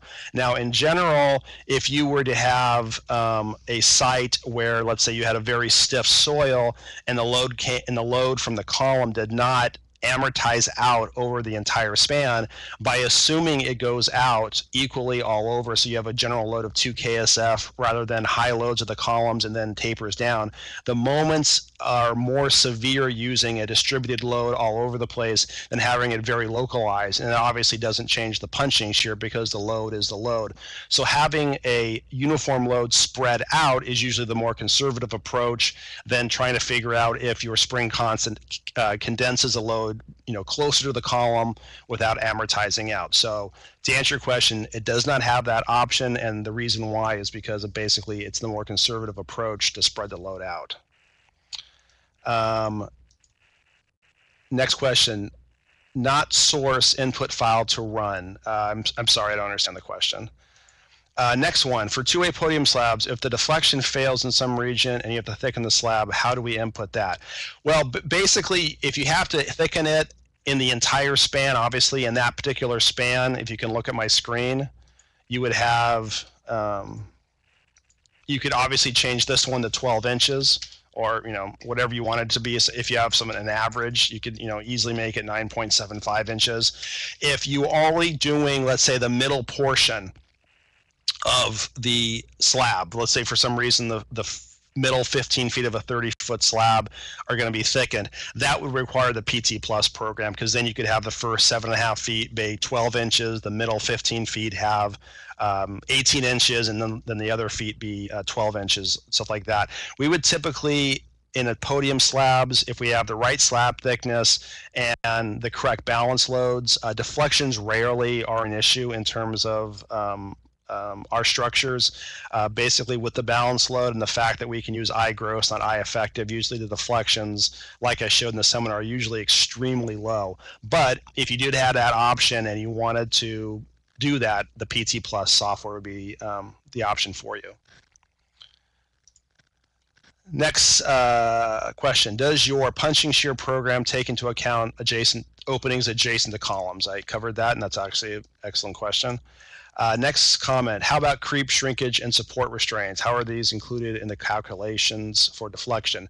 Well, basically for shrink, uh, uh, creep, shrinkage, and support restraints, that's an entirely different uh, analysis. Obviously, if you have uh, shear walls, you're going to have restraint issues, and the amount of pre-compression that you lose or the cracking that occurs because of the location of those shear walls can have an impact on the performance and some of the deflections. But typically, those have to be done more of a localized condition than trying to use the program to do that. Um, when you deal with restraint, obviously you can have some pre-compression issues if you have a long, long shear wall that's that's trying to resist a load. But in terms of ultimate strength and initial stressing and balance loads, those aren't affected. So that we sign, we find that much more of a um, individual detailing issue than a software design issue. Next question, if there is a podium slab that is on top of basement walls, how do you consider the restraining effects of the walls on the deflection calculations?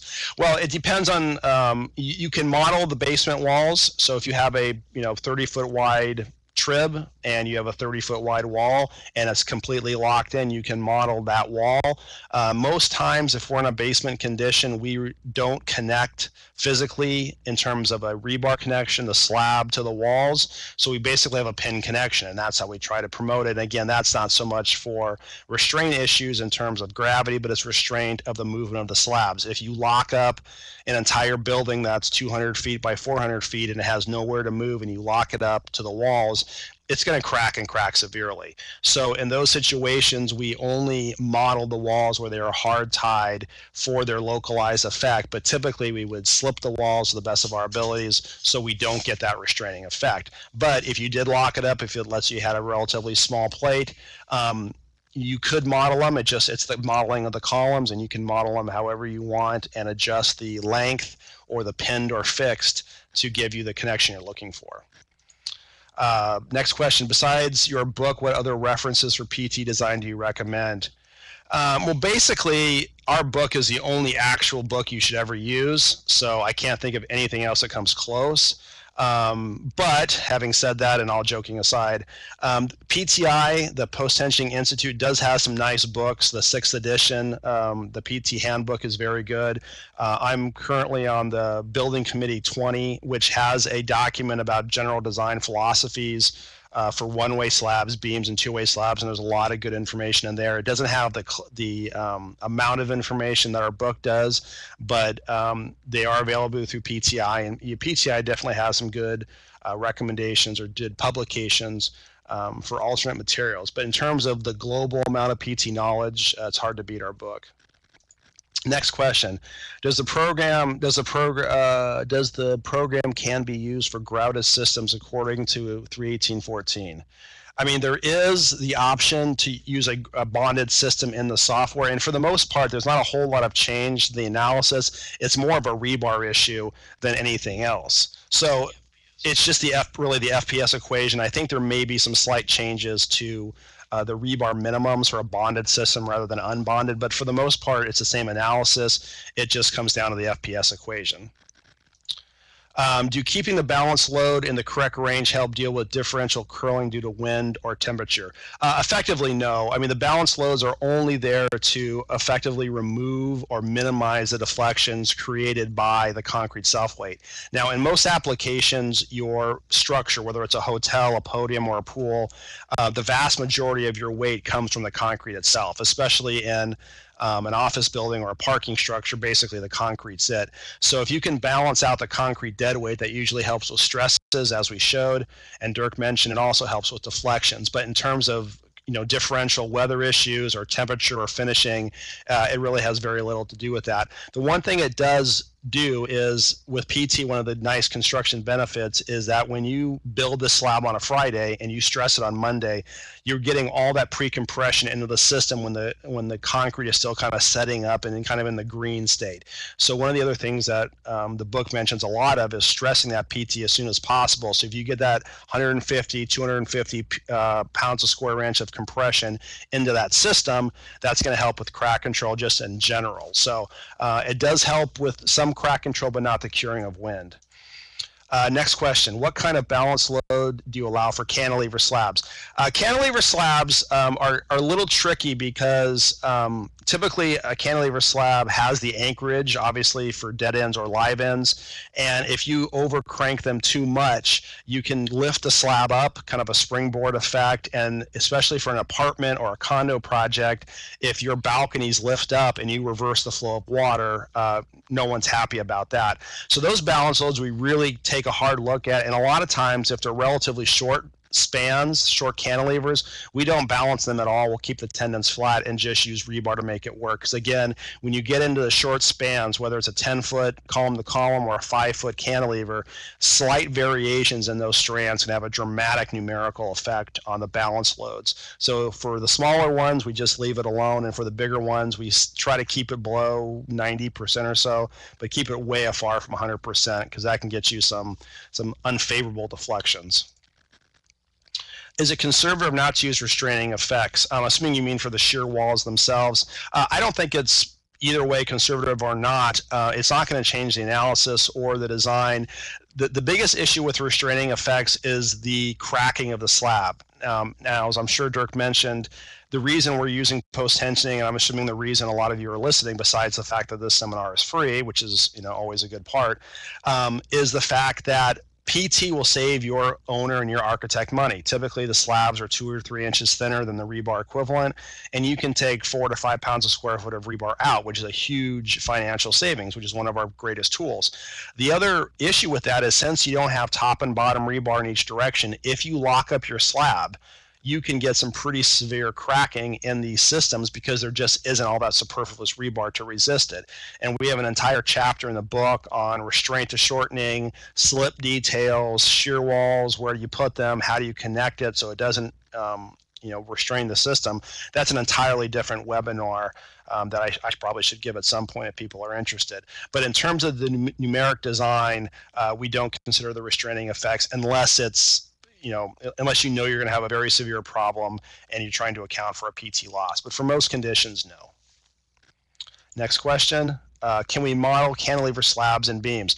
Absolutely, uh, there is. If you can look at my screen, if you go to the general input table, you have the number of spans here, and then you can have a left and right cantilever. So let's choose a right cantilever. We come here, we'll just use eight inches, make it a 12 foot cantilever, 14.5 trib, very enough, you can put a cantilever in. Now you have a cantilever and a shallow wide beam. And then the next thing you would do is when you come to uh, tendon profiles, you obviously have to create a tendon profile for a cantilever, which would be number eight, number nine, or number 10. Since we're using a pounds per square foot loading, we would use number nine.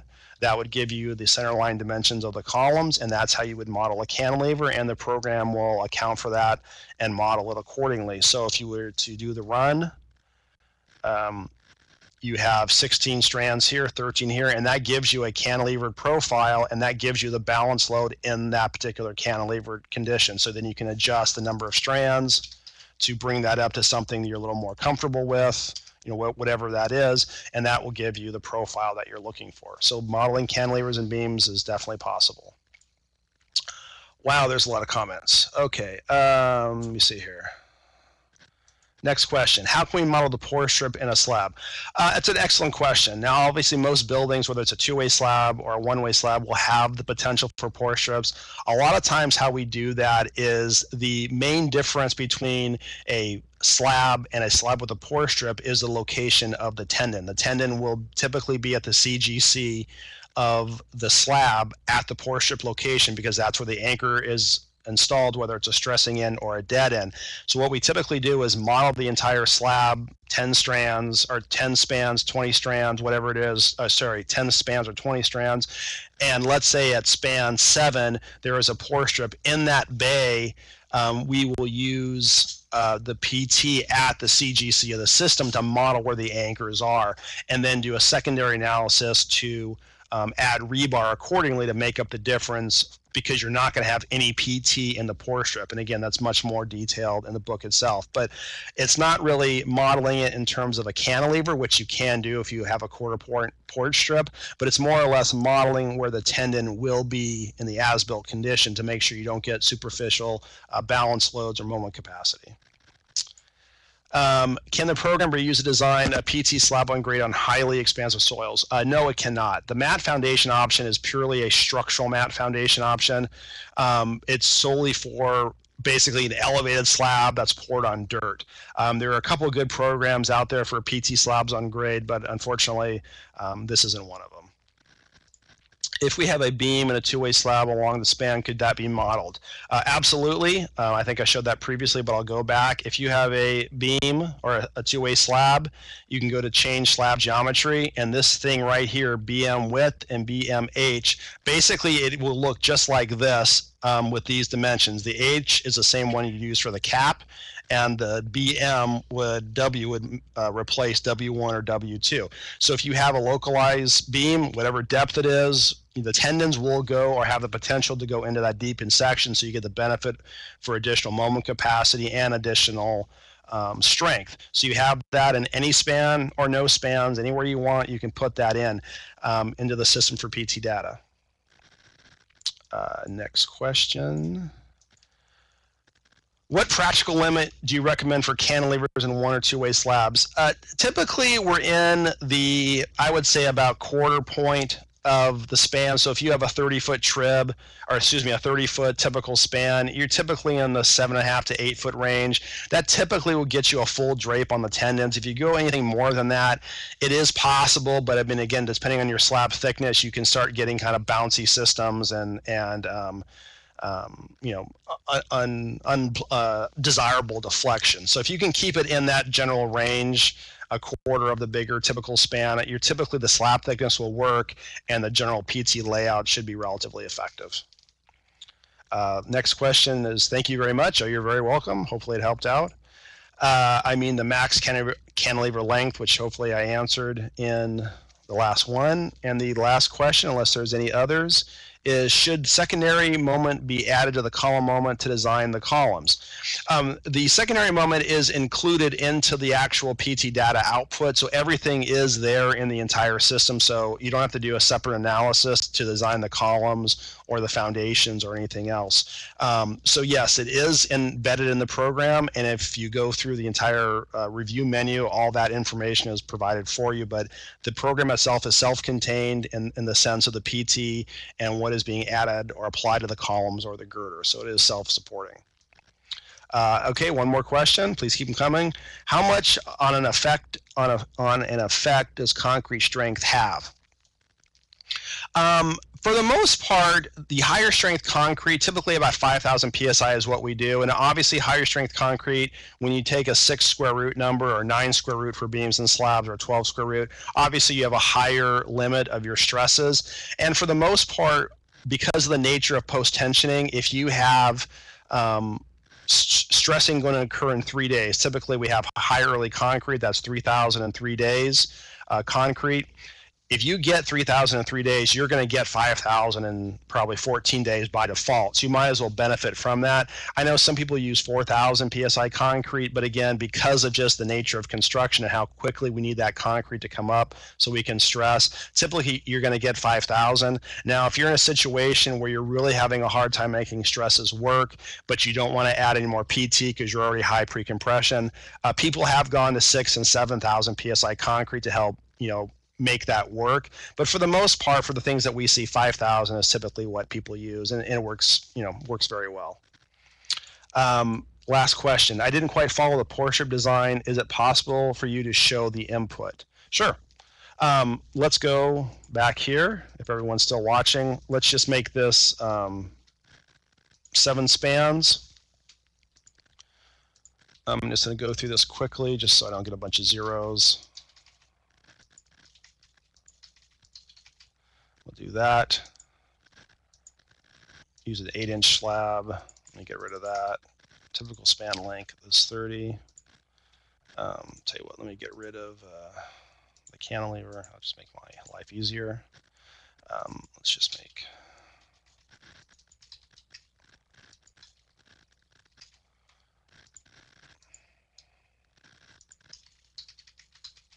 Okay. And then make sure we have the right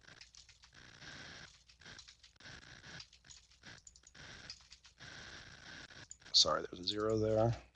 Okay, so if we do this, let's run the program. And let's say at span four, we had a pour strip. Now this is an eight inch deck, so the CGC will be at four inches. And obviously here, by putting it at four inches, that's where the tendon's going to be in the pour strip since it's running flat through the pour strip and you're anchoring. And this is assuming a mid-span pour strip. If you had a quarter point pour strip, that would be somewhat different.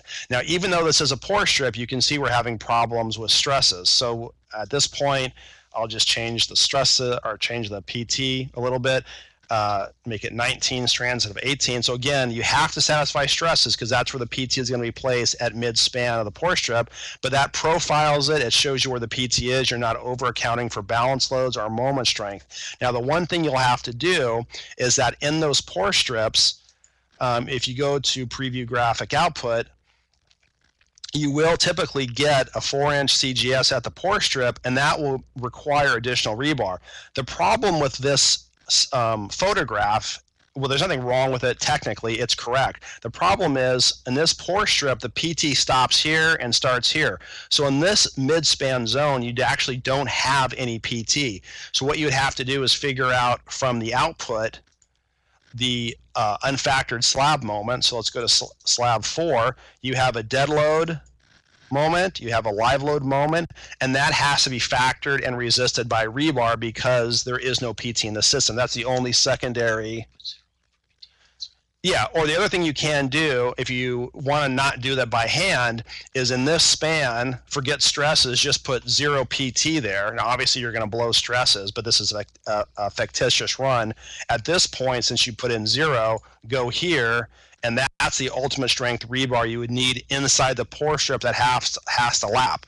So you can do it two ways. You can do a specialized run for this, or do the regular run, run it through, and then just do a hand calc to put in the rebar in the bottom of the pour strip. But that's how you would model that system. So again, you're putting the tendon where it realistically is and accounting for the rebar as you need it. So hopefully that explained the pour strip issue. I just hate doing runs with flags online. So I always put the 19 in and do it by hand. So having said that, that looks like that was my last question. Oh, no, I got two more. Um, no, last question was a thank you. You're very welcome. Hopefully it all worked out. I apologize for going a half hour longer, but it looks like everyone had a lot of questions and I'm happy to answer them. Um, and again, if you have any more questions, you want to email me or Dirk directly, we'll do our best to get back to you. Uh, buy the book. Um, buy the software. Christmas is coming up, and we need we need the extra money, so we'd appreciate your uh, buying all of our stuff. With that, I'll turn it over to Ali, and I think that should probably cover it. Okay, thank you very much, Dirk Bondy and Bryan Allred, for a very informative and interesting web seminar. I would also like to thank each and every one of the participants for joining us today. In a few minutes, you will receive an evaluation form by email from our office by which you can give us your feedback. We always take your input very seriously and try to shape our offerings based on what you need. So please help us do our best for you so by returning the evaluation form when you get them. With that, that, I am closing the seminar now. Thanks again and have a wonderful rest of the day.